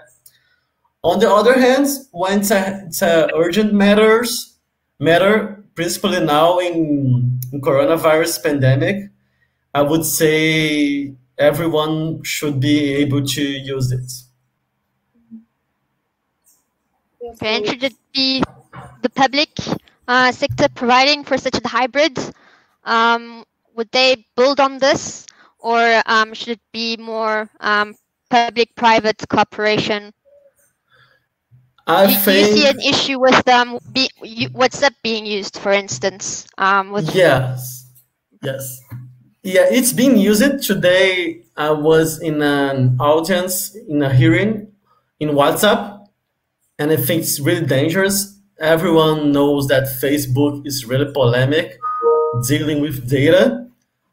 But what I think is that governments, especially in Brazil, they do not have the right people and the right tools to build a solution. And probably a mixed partnership between public and private would be great since they could make the this, the code public for everyone to know it's really encrypted and what they're doing with all the data. And so if the tribunals can build it, yes, I've, they can, of course, but I think they won't be able to. And which characteristics characteristics should it have? I would say open source, encrypted, with breakout room and record features. Why record? In order to make it public in the future. Mm -hmm. Okay, thank you very much. What, what is also Anna, you, you want to say something? Yeah, if I may add, what is also very important, this is uh, you know possibility to to save documents you know like in the cloud or something that you can have documents available that are also secure, that are also that are also encrypted. And um, you have mentioned here here uh, Lucas has mentioned Zoom, and you know from my point of view, also as a as a former judge, and now taking into account my experience from working remotely from from last uh, three months, actually Zoom has all the features that can be easily adapted for a need of uh, of of uh, court hearings. So I can really imagine this kind of a public-private cooperation to develop like an effective tool for conducting uh, court hearings um, fully online. Excellent. Thank you. Okay, so off to our third question. And it actually goes to what we were saying slightly. So should the apps and user interfaces for remote and online courts be delivered by the state, independent body, or private sector? What would the pros and cons be? What does it look like for you locally? So Ana Paula, maybe you would like to start? Yeah, sure. Mm, I think they can be developed by the state or the private sector or they can uh, be done through a public-private partnership. The um, important thing here is the transparency of the procedure. That is not a catch for the private sector by building this technology or um, also if the tool is uh, developed in, um, independently by the private or the public sector, um, how the, the data will be, the personal data will be managed because I think sometimes there are many questions and there, there are things about um, the, the data data process. Um, so I think I, I agree they can be done the, developed by um, the private or public sector. Okay. And Frédérique, what is your perspective?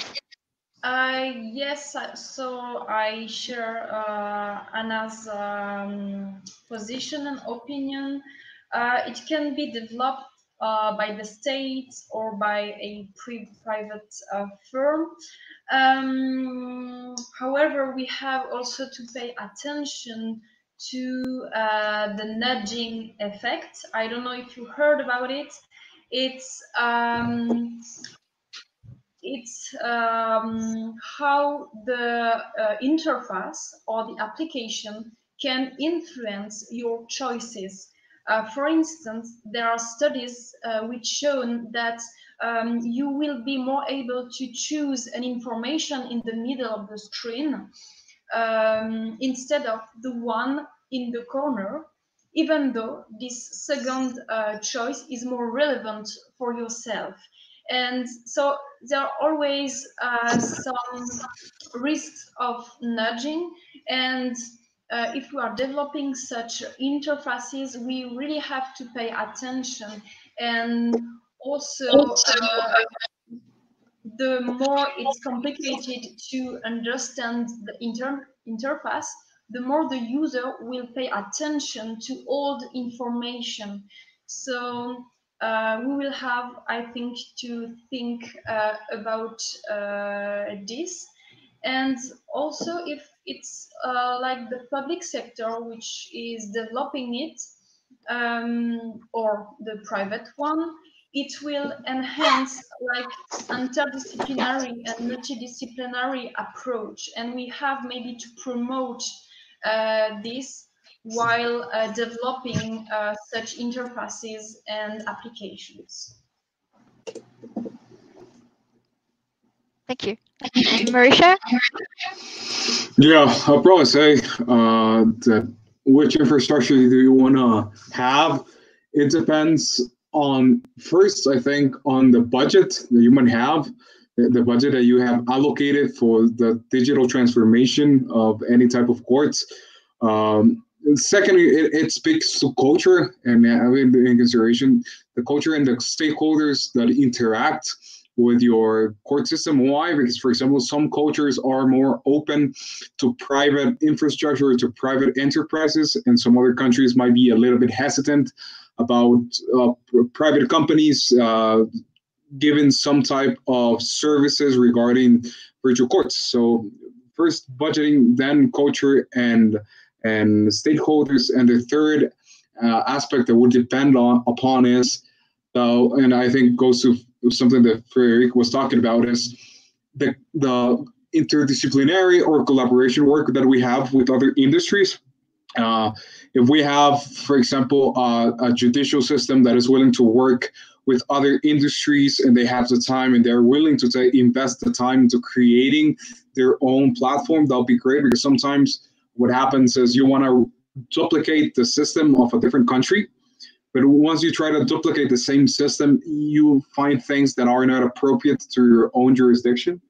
So, depending on the level of collaboration and investment of time that you're willing to take, uh, you can have, you can create your own system. Uh, if you ask me my personal question, I always think that it's better if a judicial system uh, builds their own system the reason why, because it's in the long term, it's going to be more sustainable and it's going to be something that they feel comfortable with instead of being some, for example, being a software or program given by a third party that sometimes changes could take additional time uh, into making. However, that speaks to the factors that I told you about. If you don't have the budgeting or you don't have the judicial system that is willing to invest the time, then you can interact with, let's say, hybrid solutions that incorporate some aspects of your infrastructure, your digital infrastructure, and additional elements from the uh, private aspect of things.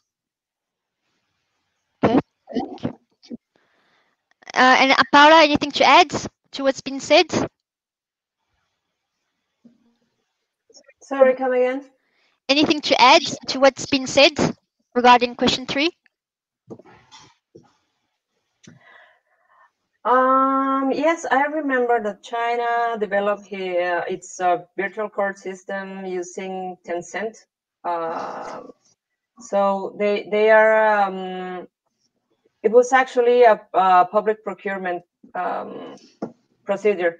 So um, they assure that the transparency on the procedure, the management of the data, and I think they are good example of, um, of uh, development and infrastructure by the private sector. Probably, I'm not sure if um, I, I, I, know, like Mauricio mentioned, that probably um, the public sector will be much more comfortable if they develop their own infrastructure. But I think, at least in Mexico, they don't have the resources, um, the resources not any resources, uh, budget or human resources to build such an infrastructure. And that's it. Thank you. Thank you. So then off to question four. What are the next most important steps to online courts? So Anna Adamska, would you like to add anything to this? You know, uh, for sure, I think that coronavirus has shown that many countries are not ready to have this uh, digital justice to, to apply digital justice. So, in many in many places, it is needed to develop systems uh, of electronic files various platforms to enable uh, to conduct court hearings uh, online. So th this is something. This is now like like like a must because we cannot afford that the next uh, pandemic comes and uh, we will, will close courts again for, for a few months, as it happened in, in many European countries in, in this case. So for sure, like a full uh, electronic case file system uh, and the platform to conduct uh, hearings, especially in cases where it is to deal with lawyers when you do not hear when you do not have to hear witnesses is is a must in my opinion. Thank you. Frédérique? So uh, yes, I will um, talk from my French and Luxembourger uh, perspective. And if I might compare like an online court with a, a, car, I would say that we already have uh, the chassis, the frame, we have the window, um, but uh, we only have uh, three wheel.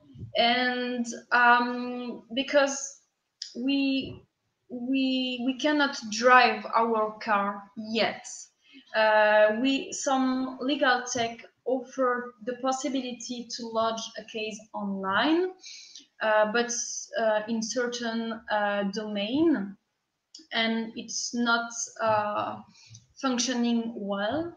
Uh, we also can um, file electronic, electronically documents on the RPVA that I mentioned in my presentation. So you have many initiatives. Uh, so I would say that the next step uh, would be to strengthen uh, the running tools. Um, and in Luxembourg, maybe to think of a uh, network to uh, the exchange of uh, documents, maybe. Thank you. Lucas? I would say we need to make some legislation that can adapt our system to it. We made a really important, we did a, we did a huge step in 2015 when we decided to that all the files should be, all the cases should be filed online but now we still have this problem regarding the hearings, when it's possible, when it's not, when it's easier. So the legislators, they will have a big, big work now to decide it. And in per, they should invite the population to, to talk about this too. All right, okay, interesting. So question five, what are the alternative means to access to justice in the court system? How can tech facilitate such access? Uh, Ana Paula? Yeah, thank you. Um, there are some um, um, online dispute resolutions methods uh, that can be uh, much more easier to access than the traditional methods. But I'm not seeing the question. I wanted to see the end of the question. There were two parts, but I'm not seeing it on the screen. Oh, yeah. And how can tech facilitate such access? I think socializing and educating people on how this could be um, how this could be facilitating their lives. They don't have to spend sometimes. I, I, this is probably an analogy when I said, um, please use electronic signature uh, please uh, trust on the cloud and um, using cloud computing because at, at the end of the day, you will end up scanning your document uh, with a uh, wet signature and uh, you'll store it you'll store it on the cloud. So um, you're saving steps and uh, saving money at the same time if you use the the, the, the cloud computing system so uh, i think educating people and um, saying um, the benefits that they can obtain um, using um, accessing these technologies, um, that could be very useful. And how would you say um, we should educate them? Uh, through which means? Would it be online, on TV? How, how would the education um, be brought to the the public? Ah, that's an interesting question, but uh, kind of tricky depending on the um, country because sometimes we think that yeah maybe if we um, launch a campaign on um, even on social networks on um, on traditional radio on tv on ads everywhere we can um, educate people but also it needs to be taken into consideration that in some countries for example in some regions of mexico remote regions in, in mexico um, people don't have access to electricity sometimes, or sometimes they have uh, very bad connections to the internet. So um, that's why I think it's a very interesting question, but uh, tricky to answer.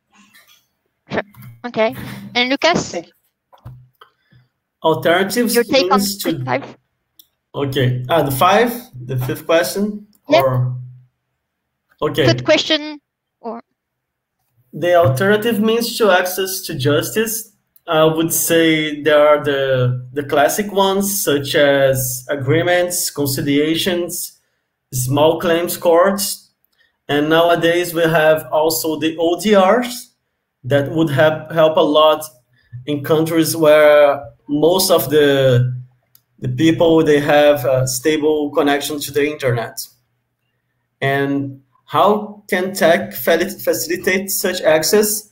I would say that they make the law easier to understand, easier to access, and they can easily spread the law for people that don't know which their right is, how can they act, how can they can access the law.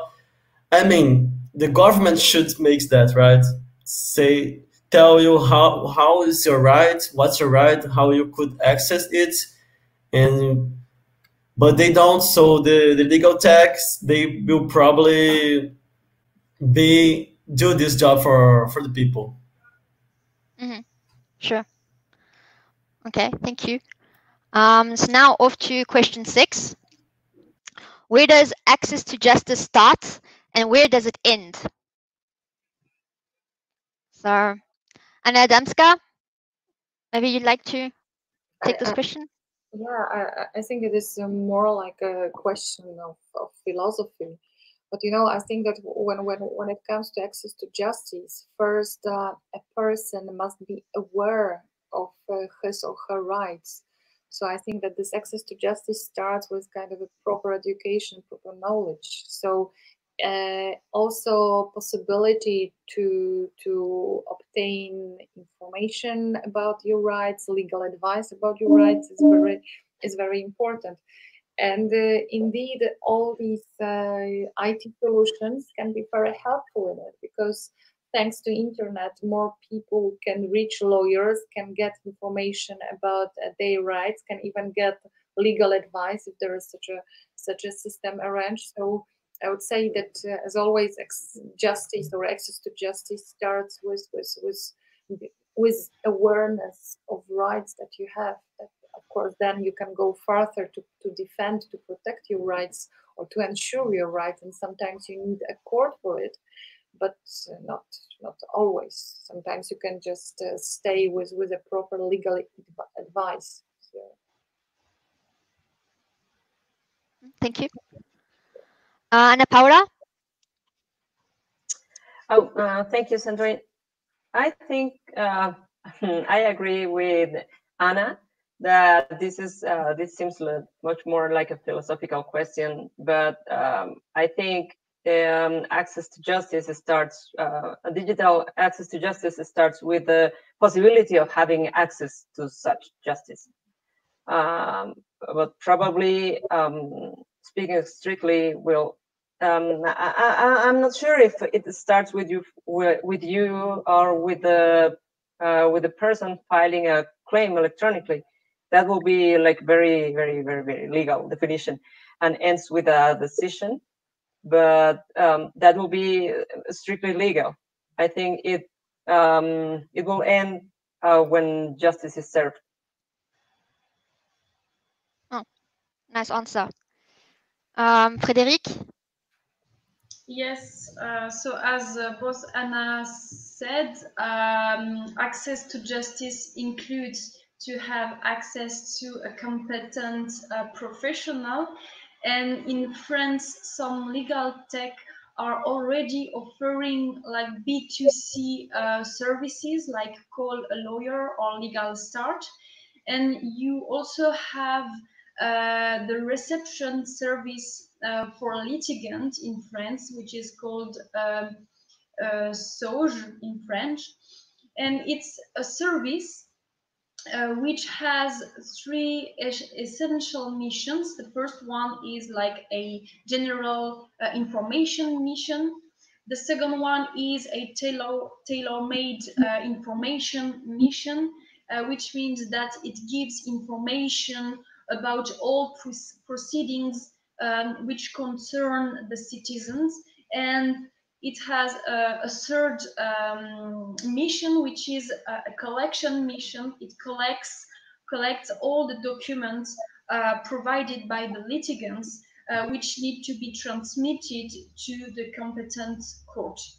Also, access to justice includes, I would say, the possibility to lodge a case.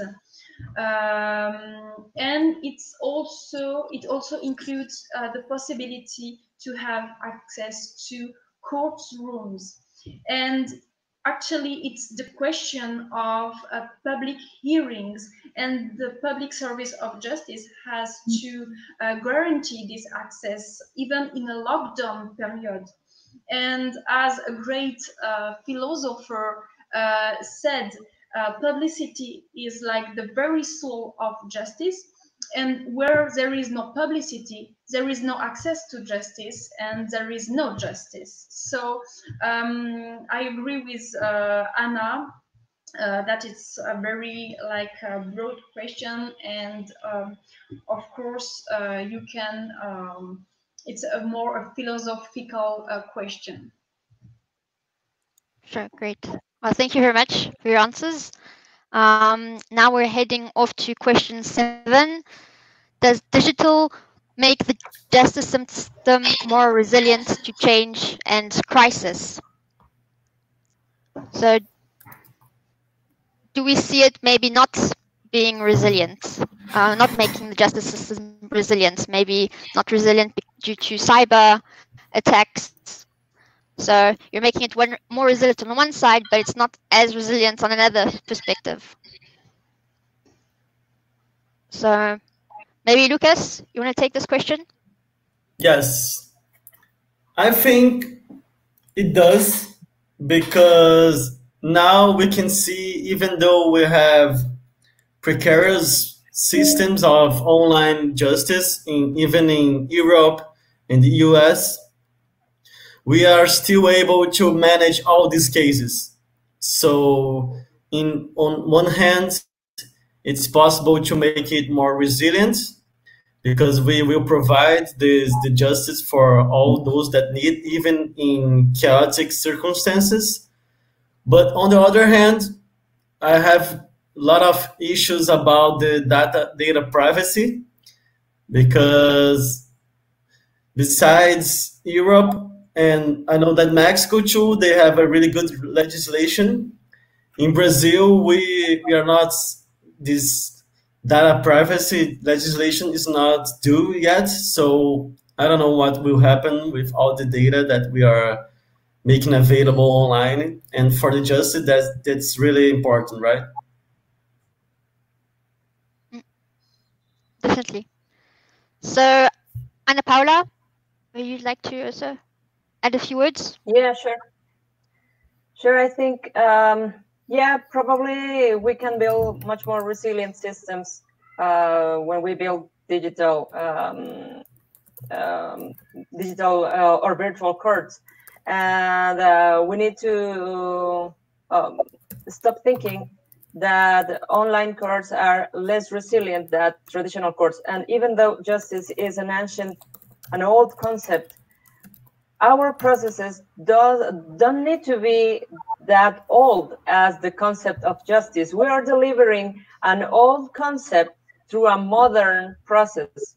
And that is um, per se, I think, much more resilient because we are adapting uh, the process to modern times. Mm -hmm. That's a fair point. Okay, um, Anna Adamska. Well, so yeah, I, I think that uh, thanks to these modern solutions, uh, justice system will become more resilient to these crises we are facing now. Of course, it requires a lot of, uh, of um, measures to ensure security of the system encryption of the system, etc. But I want to return to this, uh, this uh, such a saying that justice delayed is justice denied. This is what we have to remember. And you know, for example, like in Poland, uh, courts were uh, operating on a very limited uh, mode uh, during the coronavirus. So, like three months delay, it's really a long, a long time in many cases. So, from this point of view, we also have uh, to, to look at this resilience of, of, of the judicial uh, system. Thank you. Thank you very much. Well, I think um, we're done for part two. Um, we'll see if we have any Q and A's. I don't see any. Um, and we're well over time as well. But uh, thank you, everyone for your time. Very impressive. Um, I enjoyed hearing you, listening to you. So um, thank you very much. Thank you for the invitation. Thank you very much. It was Thank very you very much for the invitation. Nice to meet you all, guys. Thank you very much. See you Nice soon. you. Bye. Yes, it See was a great Bye. pleasure having you. Bye. Bye. Bye.